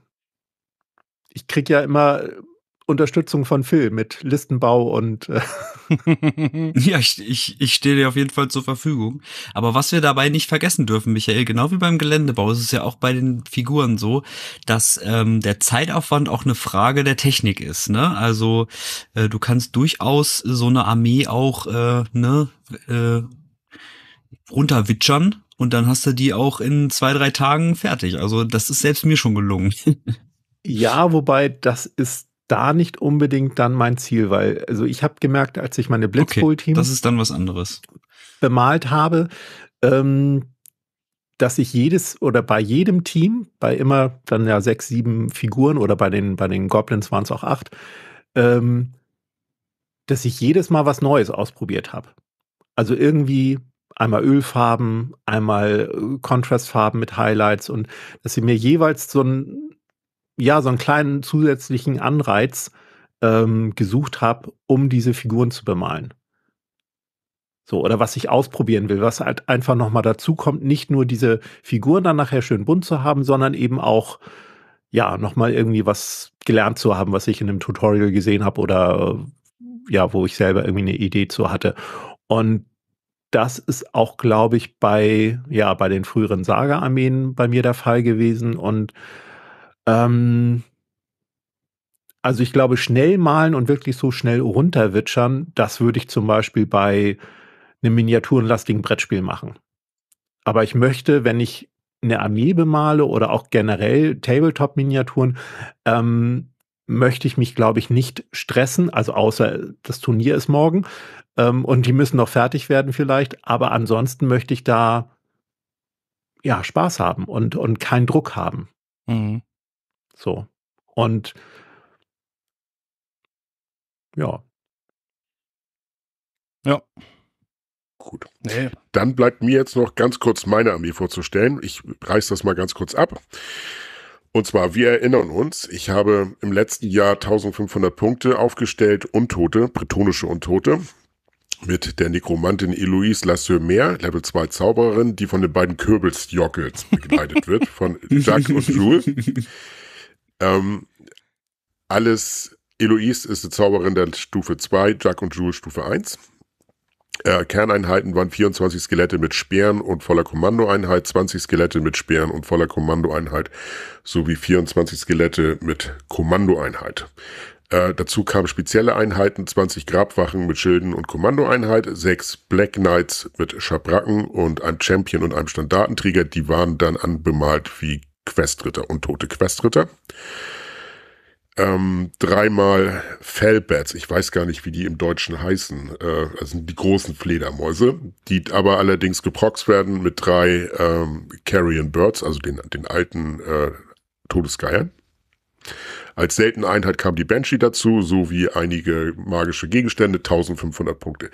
Bei diesen 1500 Punkten setze ich an und baue den nächsten Block für die nächsten, also für, damit es insgesamt auf 2000 Punkte hochkommt. Äh, die ersten 120 Punkte erreiche ich durch den Verwaltungsakt, dass Eloise Level 4 wird. Da muss ich nichts für anmalen. Hier. Äh, die habe ich schon mal im Sack. Da kriegst da kriegst Applaus für Hauke. Das ist Der Blitzwitcher. genau. Der Upgrader. Genau. Dann kommt dazu noch ein Gespenst für 75 Punkte. Das ist in der Tat sogar schon bemalt. Ähm, und äh, da das allerdings dann in ein eins der Regimenter kommt, muss ich halt ein Skelett in Ruhestand schicken. Das benutze ich dann nicht. Da spare ich dann sieben Punkte. Dann zehn weitere Black Knights mit der vollen Kommandoeinheit. Das sind die gepanzerten Skelette, die zur sechsten Edition halt erschienen sind. Die habe ich halt tatsächlich, die Modelle. Ähm, die bemalen. Dazu wird nochmal 35 Punkte gut machen, indem Jack auch auf Level 2 gesetzt wird und zwei Carrion Birds dazu. Dann bin ich bei 2000 Punkten. Das ist aber, wie gesagt, das ist jetzt nicht viel. Ne? 2000 Punkte Nekromanten Appendix Armeeliste. Und jetzt mache ich 197 Punkte, indem ich die Nekromanten Appendix Armeeliste sozusagen abschaffe und stattdessen eine normale Armeeliste mit einem Vampir nehmen.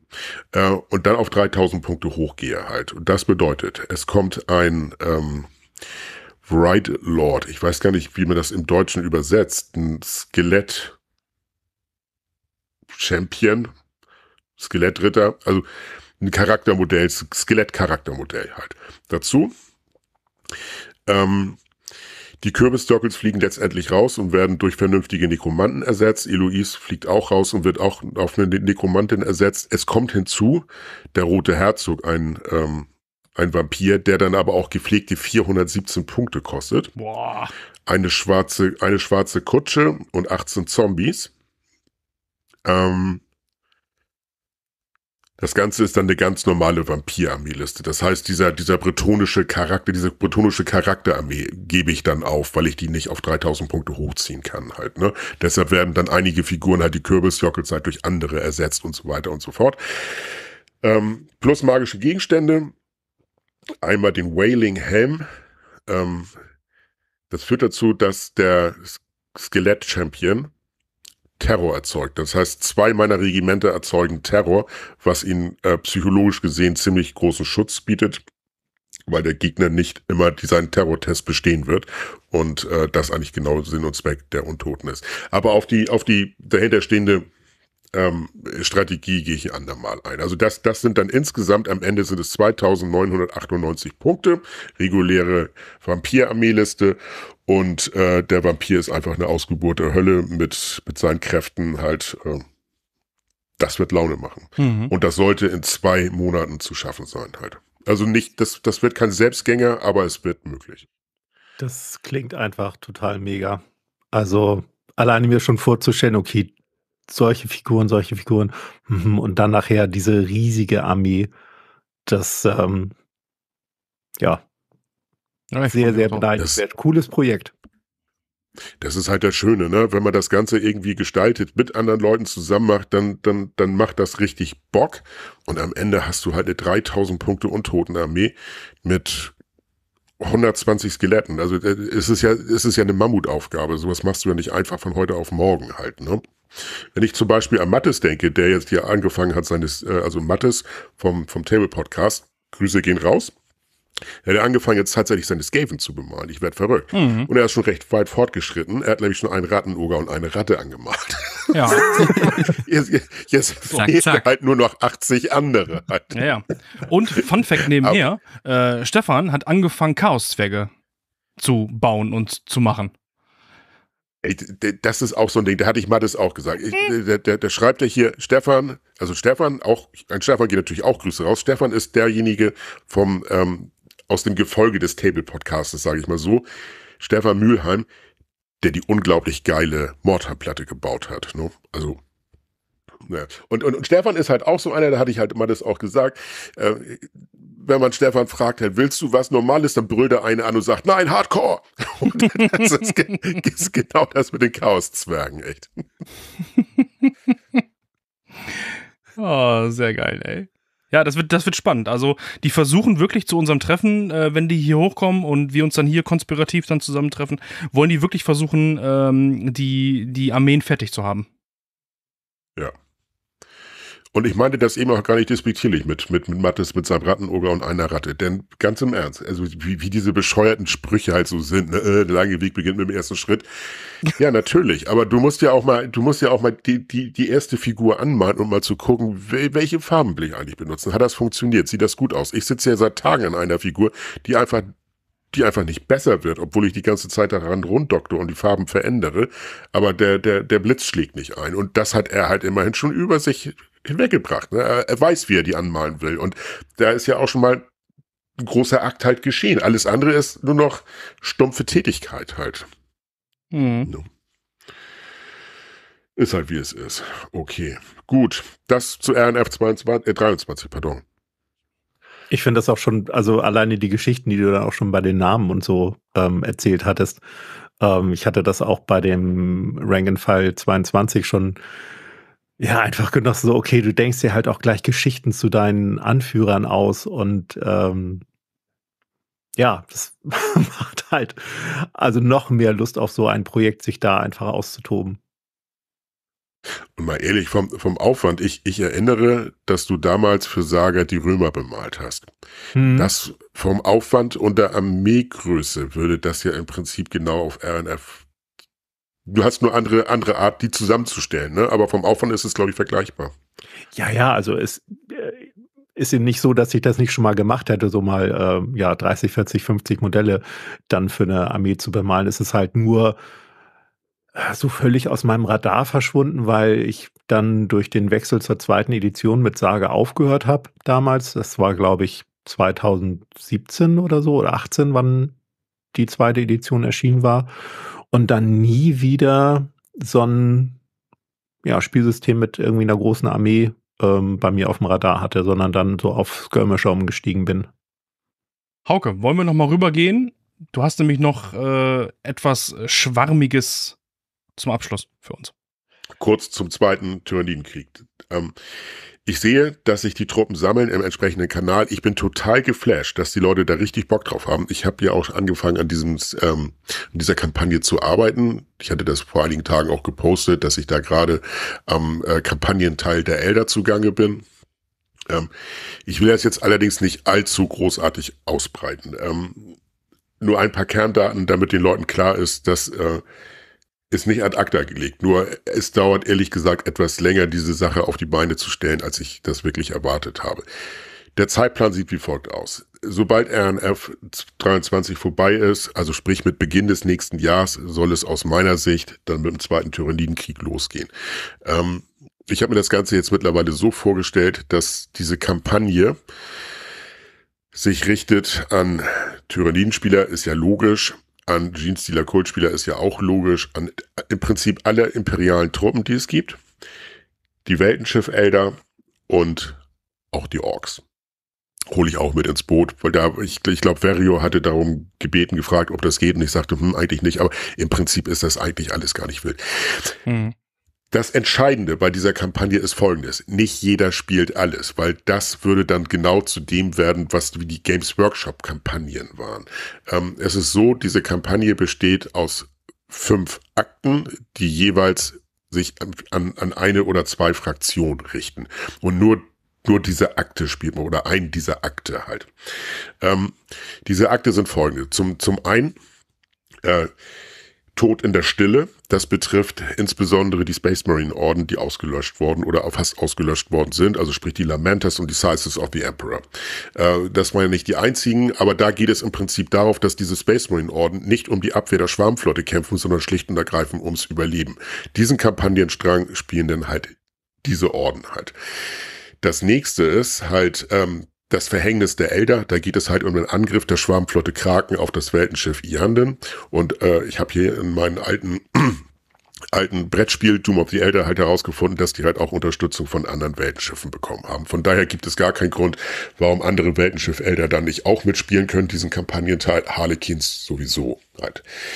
Dann haben wir den Teil des imperialen ähm, äh, im Prinzip des totalen Krieges. Da geht es dann einfach Angriffe auf imperiale Welten, die abgeschlagen werden oder eben nicht. Da kann man dann im Prinzip alles spielen, was, was ein Adler trägt. In dieser Art im Prinzip halt, ne?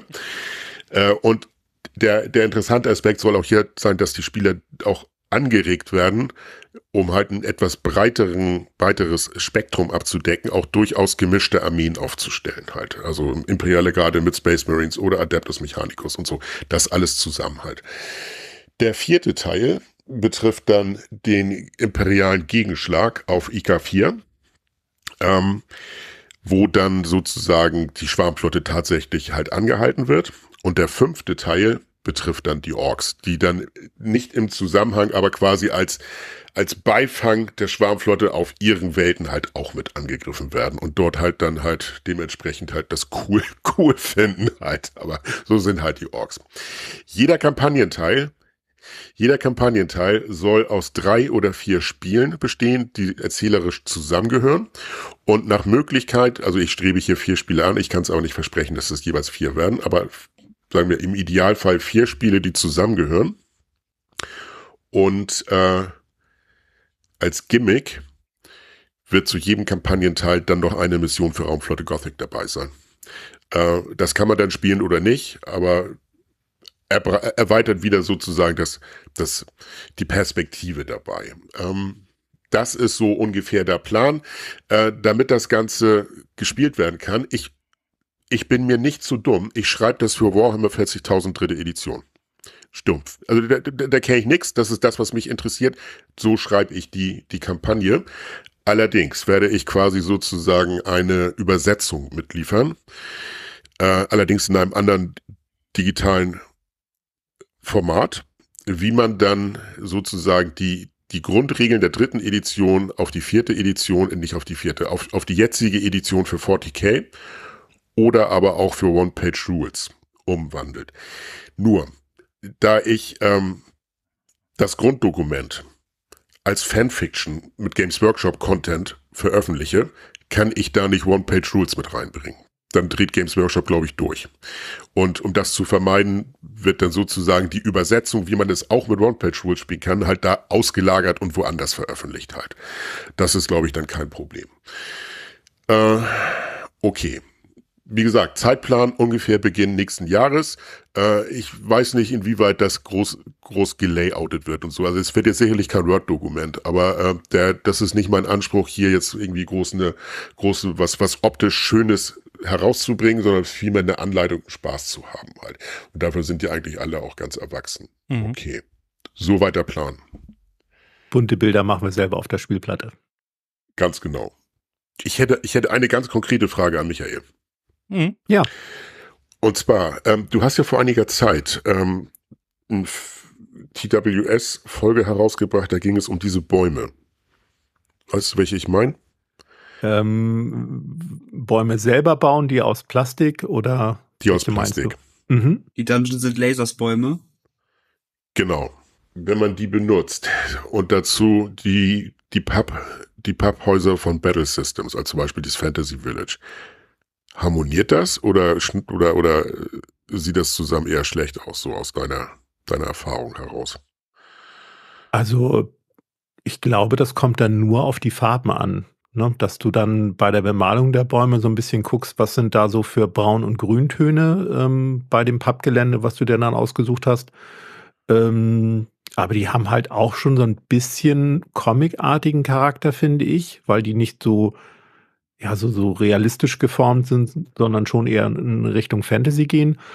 Und wenn du da zum Beispiel auch mal mit, ähm, ja, mit harten Schatten, also so mit äh, einem dunklen schwarzen Wash dann drüber gehst oder, oder die Vertiefung äh, gezielt nachziehst, so Blacklining machst, dann hat das schon, ja, glaube ich, einen passenden Look. Also ich wüsste nicht, dass die, ja, also ich würde die nehmen dafür, ja. Und du hast was okay. Plastisches, was, was dann äh, nochmal diese ganze ähm, ja, Pappszenerie, sage ich mal, auflockert. Also, und das ist ja auch tolles Gelände und also ja, würde ich. Also Gelände habe ich hier, Hauke. Das, können, das kannst du gerne dann testen, also wenn du, wenn du möchtest. Hast du? Ja, ich habe damals, glaube ich, bei dem Kickstarter mitgemacht oder irgendwie so.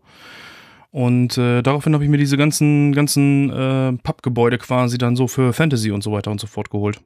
Hm. Die hast ja, ich habe die auch alle. Hm. Ich habe die auch. Siehst du? Alter, du hast die auch? Ja.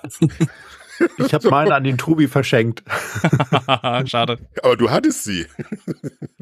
ja, ja, ich hatte sie ähm, damals von ja, Battle System beziehungsweise Miniaturicum ähm, bekommen. Also das war irgendwie so eine, so eine Cross-Promotion ähm, ja, weil, weil Miniaturicum den Vertrieb aufgenommen hatte von den Sachen, ähm, hatte ich äh, einen riesen Schwung bekommen. Und dann dachte ich mir, ja, ich ähm, kann es gar nicht lagern und behalten. Ähm, und der Tobi, der kann ja für seine Spielberichte locker das Gelände benutzen. Und äh, dann hatte ich ja mit ihm gesprochen und dann gab es ja diesen, äh, diesen kleinen Clip am Ende vom Video, äh, von, von meinem Video, ähm, wo er quasi so einen Battle-Anruf startet. Ach, Michael, komm, ne? Du brauchst das Gelände doch nicht mehr. Du könntest doch mal so kleine YouTuber unterstützen. Weiß nicht, ob er euch daran erinnert, aber so ist dann das Gelände zu ihm gewandert und ähm, ja. Okay. Deswegen habe ich es nicht mehr. Dann werde ich es mir auf jeden Fall bei Phil oder bei Piwi angucken, wenn ich das nächste Mal da bin. Ja, mach mal ruhig. Ich habe mir tatsächlich, ich habe tatsächlich sogar auch den Maladum äh, oder Maladum äh, Kickstarter geplätscht. Ach echt? Ja. Ist aber noch nicht da, oder? Nee, nee, nee, aber ich finde die Battle Systems Sachen einfach genial und also mir gefällt das sehr gut. Ja. Und ich finde auch, dass das Preis-Leistungs-Verhältnis stimmig ist, für mich persönlich auf jeden Fall, weil halt der ganze äh, Aufwand des Bauens und Bemalens mehr oder weniger wegfällt. Klar, man muss diese Pappsachen schon so ein bisschen zusammenstecken, aber im Vergleich ist es dann doch äh, relativ easy. und die haben auch zu jedem ähm, zu jedem Geländestück ein, ein Anleitungsvideo, wie man das zusammenbaut, was auch sehr anschaulich ist. Ja, das stimmt.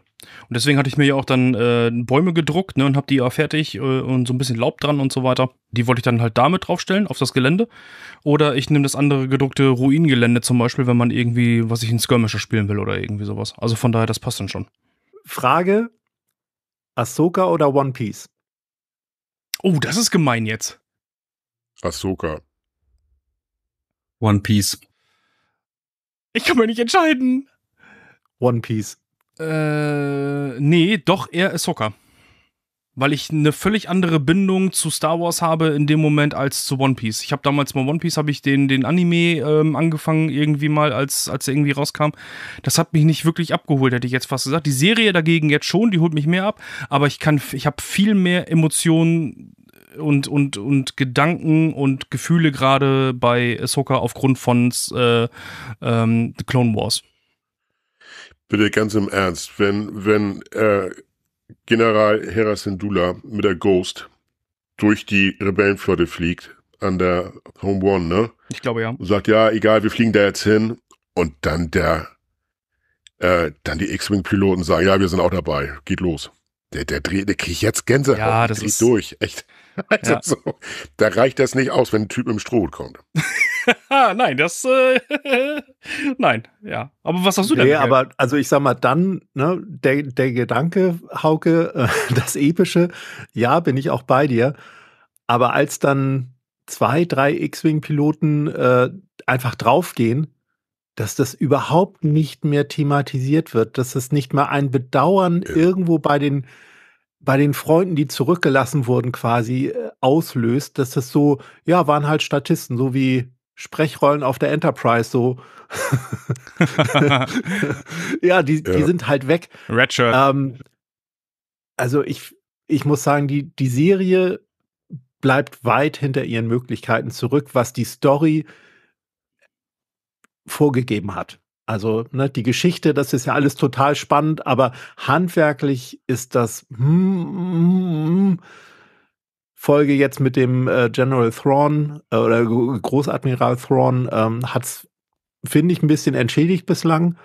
Aber One Piece fand ich dagegen wirklich total stimmig, hat richtig schöne Charaktere gezeichnet, hat die Charaktere erklärt, deren Motivation erklärt. Und auch wenn du überhaupt nicht in diesem ganzen One Piece-Universum drin bist, du wirst so gut an die Hand genommen, unterhaltsam, spannend und es werden dir wirklich Werte wie Freundschaft, Freiheit vermittelt. Ne? Lass Mm, das dich nicht stimmt. unterbuttern und so. Und und das fehlt mir zum Beispiel bei Ahsoka in der Serie komplett. Ja, aber ich glaube, da müssen wir auch ganz klar unterscheiden, dass diese beiden Serien komplett unterschiedliche Zielgruppen ansprechen, in dem Sinne, dass Ahsoka Star Wars Fans ansprechen möchte ähm, und die One Piece Serie neue Leute in das Franchise holen möchte. Also die ist nicht an, diese Serie ist nicht an One Piece Fans gerichtet, meiner Meinung nach, sondern einfach grundsätzlich, äh, da wird einfach die Geschichte handwerklich gut in einem Live-Action, in einer Live-Action-Serie erzählt. Mhm. Und das ist nicht, und Ahsoka würde ich dann eher so in die Ecke Fanservice stecken, ähm, wa- was halt ganz klar halt auch Leute ansprechen soll, die diese, die die Clone Wars Saga gesehen haben oder Serie. Und die One Piece Serie ist halt, ist, die eröffnet halt einfach das Franchise für Menschen, die noch nie, die nicht mal Kontakt zu Mangas oder Anime jemals hatten, ne? Das stimmt, aber auf der anderen Seite finde ich, musst du bei Ahsoka ja eigentlich auch schon einiges bei Star Wars konsumiert haben, damit du Ja, den ich, ja. Charakteren folgen kannst. Und das wird aber nicht in Ahsoka der Serie nochmal aufgegriffen. Das wird dir nicht erklärt, außer in irgendwie dem einen oder anderen viel zu langen Dialog. Genau, weil die Zielgruppe halt Menschen sind, die das, für die das selbstverständlich ist, was da passiert. Aber dafür, also ich glaube, es gibt genügend Star Wars-Fans, die oder von sich sagen, sie sind Star Wars-Fans, die aber eben um die Anime-Serien bislang einen Bogen gemacht haben, die einfach nur die Realverfilmung kennen. Also ich muss Tim und meiner Frau muss ich das erklären, was das bei Ahsoka auf sich hat mit den anderen Charakteren. Die, die sind da nicht, nicht im Bilde. Mhm. Und ehrlich, also ich, ich äh, teile diese Meinung komplett. Das äh, One Piece ist, ist handwerklich super gemacht und Ahsoka bleibt in der Tat hinter, hinter ihren Möglichkeiten zurück. Und wa- was mich ehrlich gesagt am allermeisten aufregt, ist dieser Coming-of-Age-Scheiß mit Sabine Wren. Das ist keine kaputte Jugendliche, die ist Ende 20, muss sie sein. Ähm, echt, das macht mich fertig. Und das ist ein völlig unnötiger Konflikt da zwischen Ahsoka und Sabine. Ähm, ich weiß nicht, warum man den reingeschrieben hat. Den finde ich, finde ich blödsinnig einfach. Ja, der ist, ähm, ich weiß gar nicht so, irgendwie, der kam auch nicht so richtig durch in, in Clone Wars, ne? So muss man auch dazu sagen, ne? Irgendwie gefühlt. Dass die beiden sich da jetzt irgendwie auch, äh, ne, wirklich so wie, so, wie so zwei Magnete teilweise abstoßen. Das, das war irgendwie noch nie so wirklich das Ding, ne? Also wenn wir davon ausgehen, dass, dass Sabine bei Rebels mindestens 16 ist, und das ist jetzt wirklich das, das, das Mindestmaß, ne? Oder sagen wir mal, doch, sagen wir mal 16, dann ist sie, und das spielt ja circa vier Jahre vor der Schlacht vor Yavin, dann ist sie 20 zur Zeit von Episode 4 und dann sechs oder sieben Jahre. Also sie, sie muss Mitte, Ende 20 sein. Und da sollte sie so weit gesettelt sein, dass sie ein bisschen, bisschen besser klarkommt im Leben halt. Und ich finde es auch, also ich finde, dass, dass den Charakter hat es nicht gut getan, was mit ihr gemacht wurde bisher. Und, Wobei ich ähm, sie interessanter finde als Ahsoka selber. So, weil Bei Ahsoka ist das Wa- Spiegelbild ja genauso halt, ne? Die ist ja von der, von der, von der einfühlsamen Empathin, wo das jetzt eine Tautologie ist, aber von der Empathin, äh, ist sie, äh, irgendwie zum, zum, zum, zum gegrämten Obi-Wan geworden halt. Also, äh, Gott sei Dank lässt das jetzt so langsam nach, ne? Aber äh, immer nur die Arme verschränkt und irgendwelche Negativität ausstrahlet halt, äh. Auch nicht überzeugend, hätte man das besser machen können. Ja. Aber, was ich dazu sagen muss, ich freue mich, jeden Mittwoch mit meinem Sohnemann auf dem Sofa zu sitzen, den Fernseher anzumachen, die Lautstärke auf, äh, sagen wir, äh, mehr als Zimmerlautstärke zu stellen Ja. und einfach Ahsoka zu gucken. So. Das habe ich mit One Piece genauso gehabt. Also von daher ähm, äh, alles safe. Aber das wäre, äh, glaube ich, Stoff für eine weitere Folge. Ähm, von daher, ich würde jetzt ganz gerne noch eben, Michael, dir eine letzte Frage vorlesen, die wir bekommen haben von jemandem hier von unserem Discord-Server. Und der Nerdic Painter fragt, und jetzt, jetzt halte ich fest, das wird ein bisschen länger jetzt gerade. Äh, mich würde ein banaler Tipp vom Profi interessieren. Ich kürze das jetzt ab. Sein Vater war Modelleisenbahner und er ist mit Ponal groß geworden und alles cool. Und das nervt ihn alles so ein bisschen so alles auch. Von wegen, ähm, dass ja vieles von diesen Klebern da draußen eigentlich nur so verwässerter ähm, Holzleim eigentlich ist und so weiter und so fort. Und da er jetzt auch ganz gerne mal Gelände mit Schutt bestreut hat und so weiter, hat er jetzt etwas gemacht, das hat er quasi mit Ponal genommen, also sprich Holzleim, hat das mit Wasser gemischt und hat dann Isopropanol, sprich Alkohol damit reingetan und das per Sprüher oder Pipette zum Fixieren ähm, auf das Streugut gegeben. Hast du ein Standardmischungsverhältnis? fragt er. Kennst du das? Mir war's neu. zum Fixieren jetzt oder? Ja. Also soweit ich das bislang ausprobiert habe oder auch äh, mal in, in Videos gesehen habe, ist das Isopropanol ja dafür da, um die Oberflächenspannung zu sprechen, also äh, zu brechen. Du, ähm, wenn du es direkt vermischt, glaube ich, dass sich die Nee, ich weiß ehrlich gesagt nicht, ob sich die Komponenten trennen. Aber ich kenne es eigentlich so, dass du erst mit Isopropanol sprühst und dann das andere äh, Versiegelungszeug, egal was es jetzt ist, dann drüber sprühst. Ich, aber es, es muss sich verbinden, ja. Ich habe es nur noch nicht selber getestet. Das sind ähm, also diese drei Komponenten Leim, Wasser und Isopropanol zu mischen. Aber ich benutze eigentlich zum Versiegeln immer eine Mischung aus Holzleim und Wasser und ähm, das rühre ich so ein bisschen nach Gefühl an. Also einfach, dass der Holzleim ähm, ja so eine dünnflüssige Konsistenz wie Milch bekommt, auch noch ähm, milchig aussieht, aber dann nicht so viel mehr. Wenn ich allerdings so eine große Fläche mit äh, sehr feinen Details, so Grasstreu einsprüht, dann verdünne ich den Holzleim-Mix dann noch mal ein bisschen äh, mehr mit Wasser. Also ich würde so mal ganz grob sagen, 1 zu 5. Also äh, ein Teil ähm, Holzleim, ähm, fünf Teile Wasser, so ungefähr. Okay. Ja. So. Und aber da gibt's auch kein richtig und kein falsch. Also, weil du merkst, wenn der Holzleim zu dick oder der Mix zu dickflüssig bleibt, ja, dann verteilt er sich natürlich äh, nicht so gut oder verstopft äh, im schlimmsten Fall die Sprühflasche. Ähm, aber es trocknet halt transparent aus. Außer wenn du natürlich irgendwo eine richtig dicke Pfütze ähm, sich gebildet hat und, und da irgendwas vollgelaufen ist, dann muss man es da natürlich wegtupfen. Aber es sieht im ersten Moment, wenn man es aufsprüht, immer so, oh Gott, ne, ich versau hier mein Gelände oder meine Spielplatte, aber das trocknet halt aus. Und dann gibt es noch die andere Variante mit ähm, Tiefengrund beziehungsweise Haftgrund aus dem Baumarkt. Ähm, die Sorten, die ich bislang getestet habe, die trocknen nur so ganz minimal seidenmatt aus. Also die haben so einen leichten mhm. Glanz. Und je nach Untergrund kann das keine Rolle spielen ähm, fällt nicht auf, aber auf ähm, geraden Plattenflächen, da siehst du dann so, ah, das glänzt ein bisschen. Und wenn man das nicht haben will, dann muss man halt ähm, Holzleim Wasser nehmen oder nochmal mit äh, Mattlack drüber sprühen. Genau. So, und meine Empfehlung äh, für den Nerdic Panther ist einfach, äh, von Scale Color gibt es einen Terrain Fixer. Das nimmst du dir, nimmst eine Pimpette, tropfelst das auf deinen auf deinen Base drauf, was du fixieren willst und dann ist das äh, abriebfest und dann ist alles gut. Dann äh, braucht man sich auch darüber keine Gedanken machen, was man wie wo mit Isopropanol mischen will. Also von daher kann man fertig kaufen. Hast du in einer 100 Milliliter Flashkin, ist alles schick. So. War das jetzt nur für Bases die Frage? Oder war das allgemein? Naja, so, so direkt hat er es in seinen acht Seiten äh, Frage nicht unbedingt ausgeführt. okay, weil für Bases, ja, dann nimmst du einfach Terrain Fixer und fertig. Ja, oder Terrain Fixer. Genau. So, und damit steigen wir jetzt auch in Shuttle ein und würde ich sagen, jetzt äh, machen wir die Biege hier, weil in der Siedlung Önkelstieg gehen auch so langsam die Lichter an. Ich glaube, der Postbote kommt auch so langsam hier und äh, schmeißt irgendwelche Briefe schon ein und der Zeitungsausträger hat auch schon Licht an seinem Fahrrad an. Also von daher, ich glaube, wir stehen hier so ein bisschen im Weg.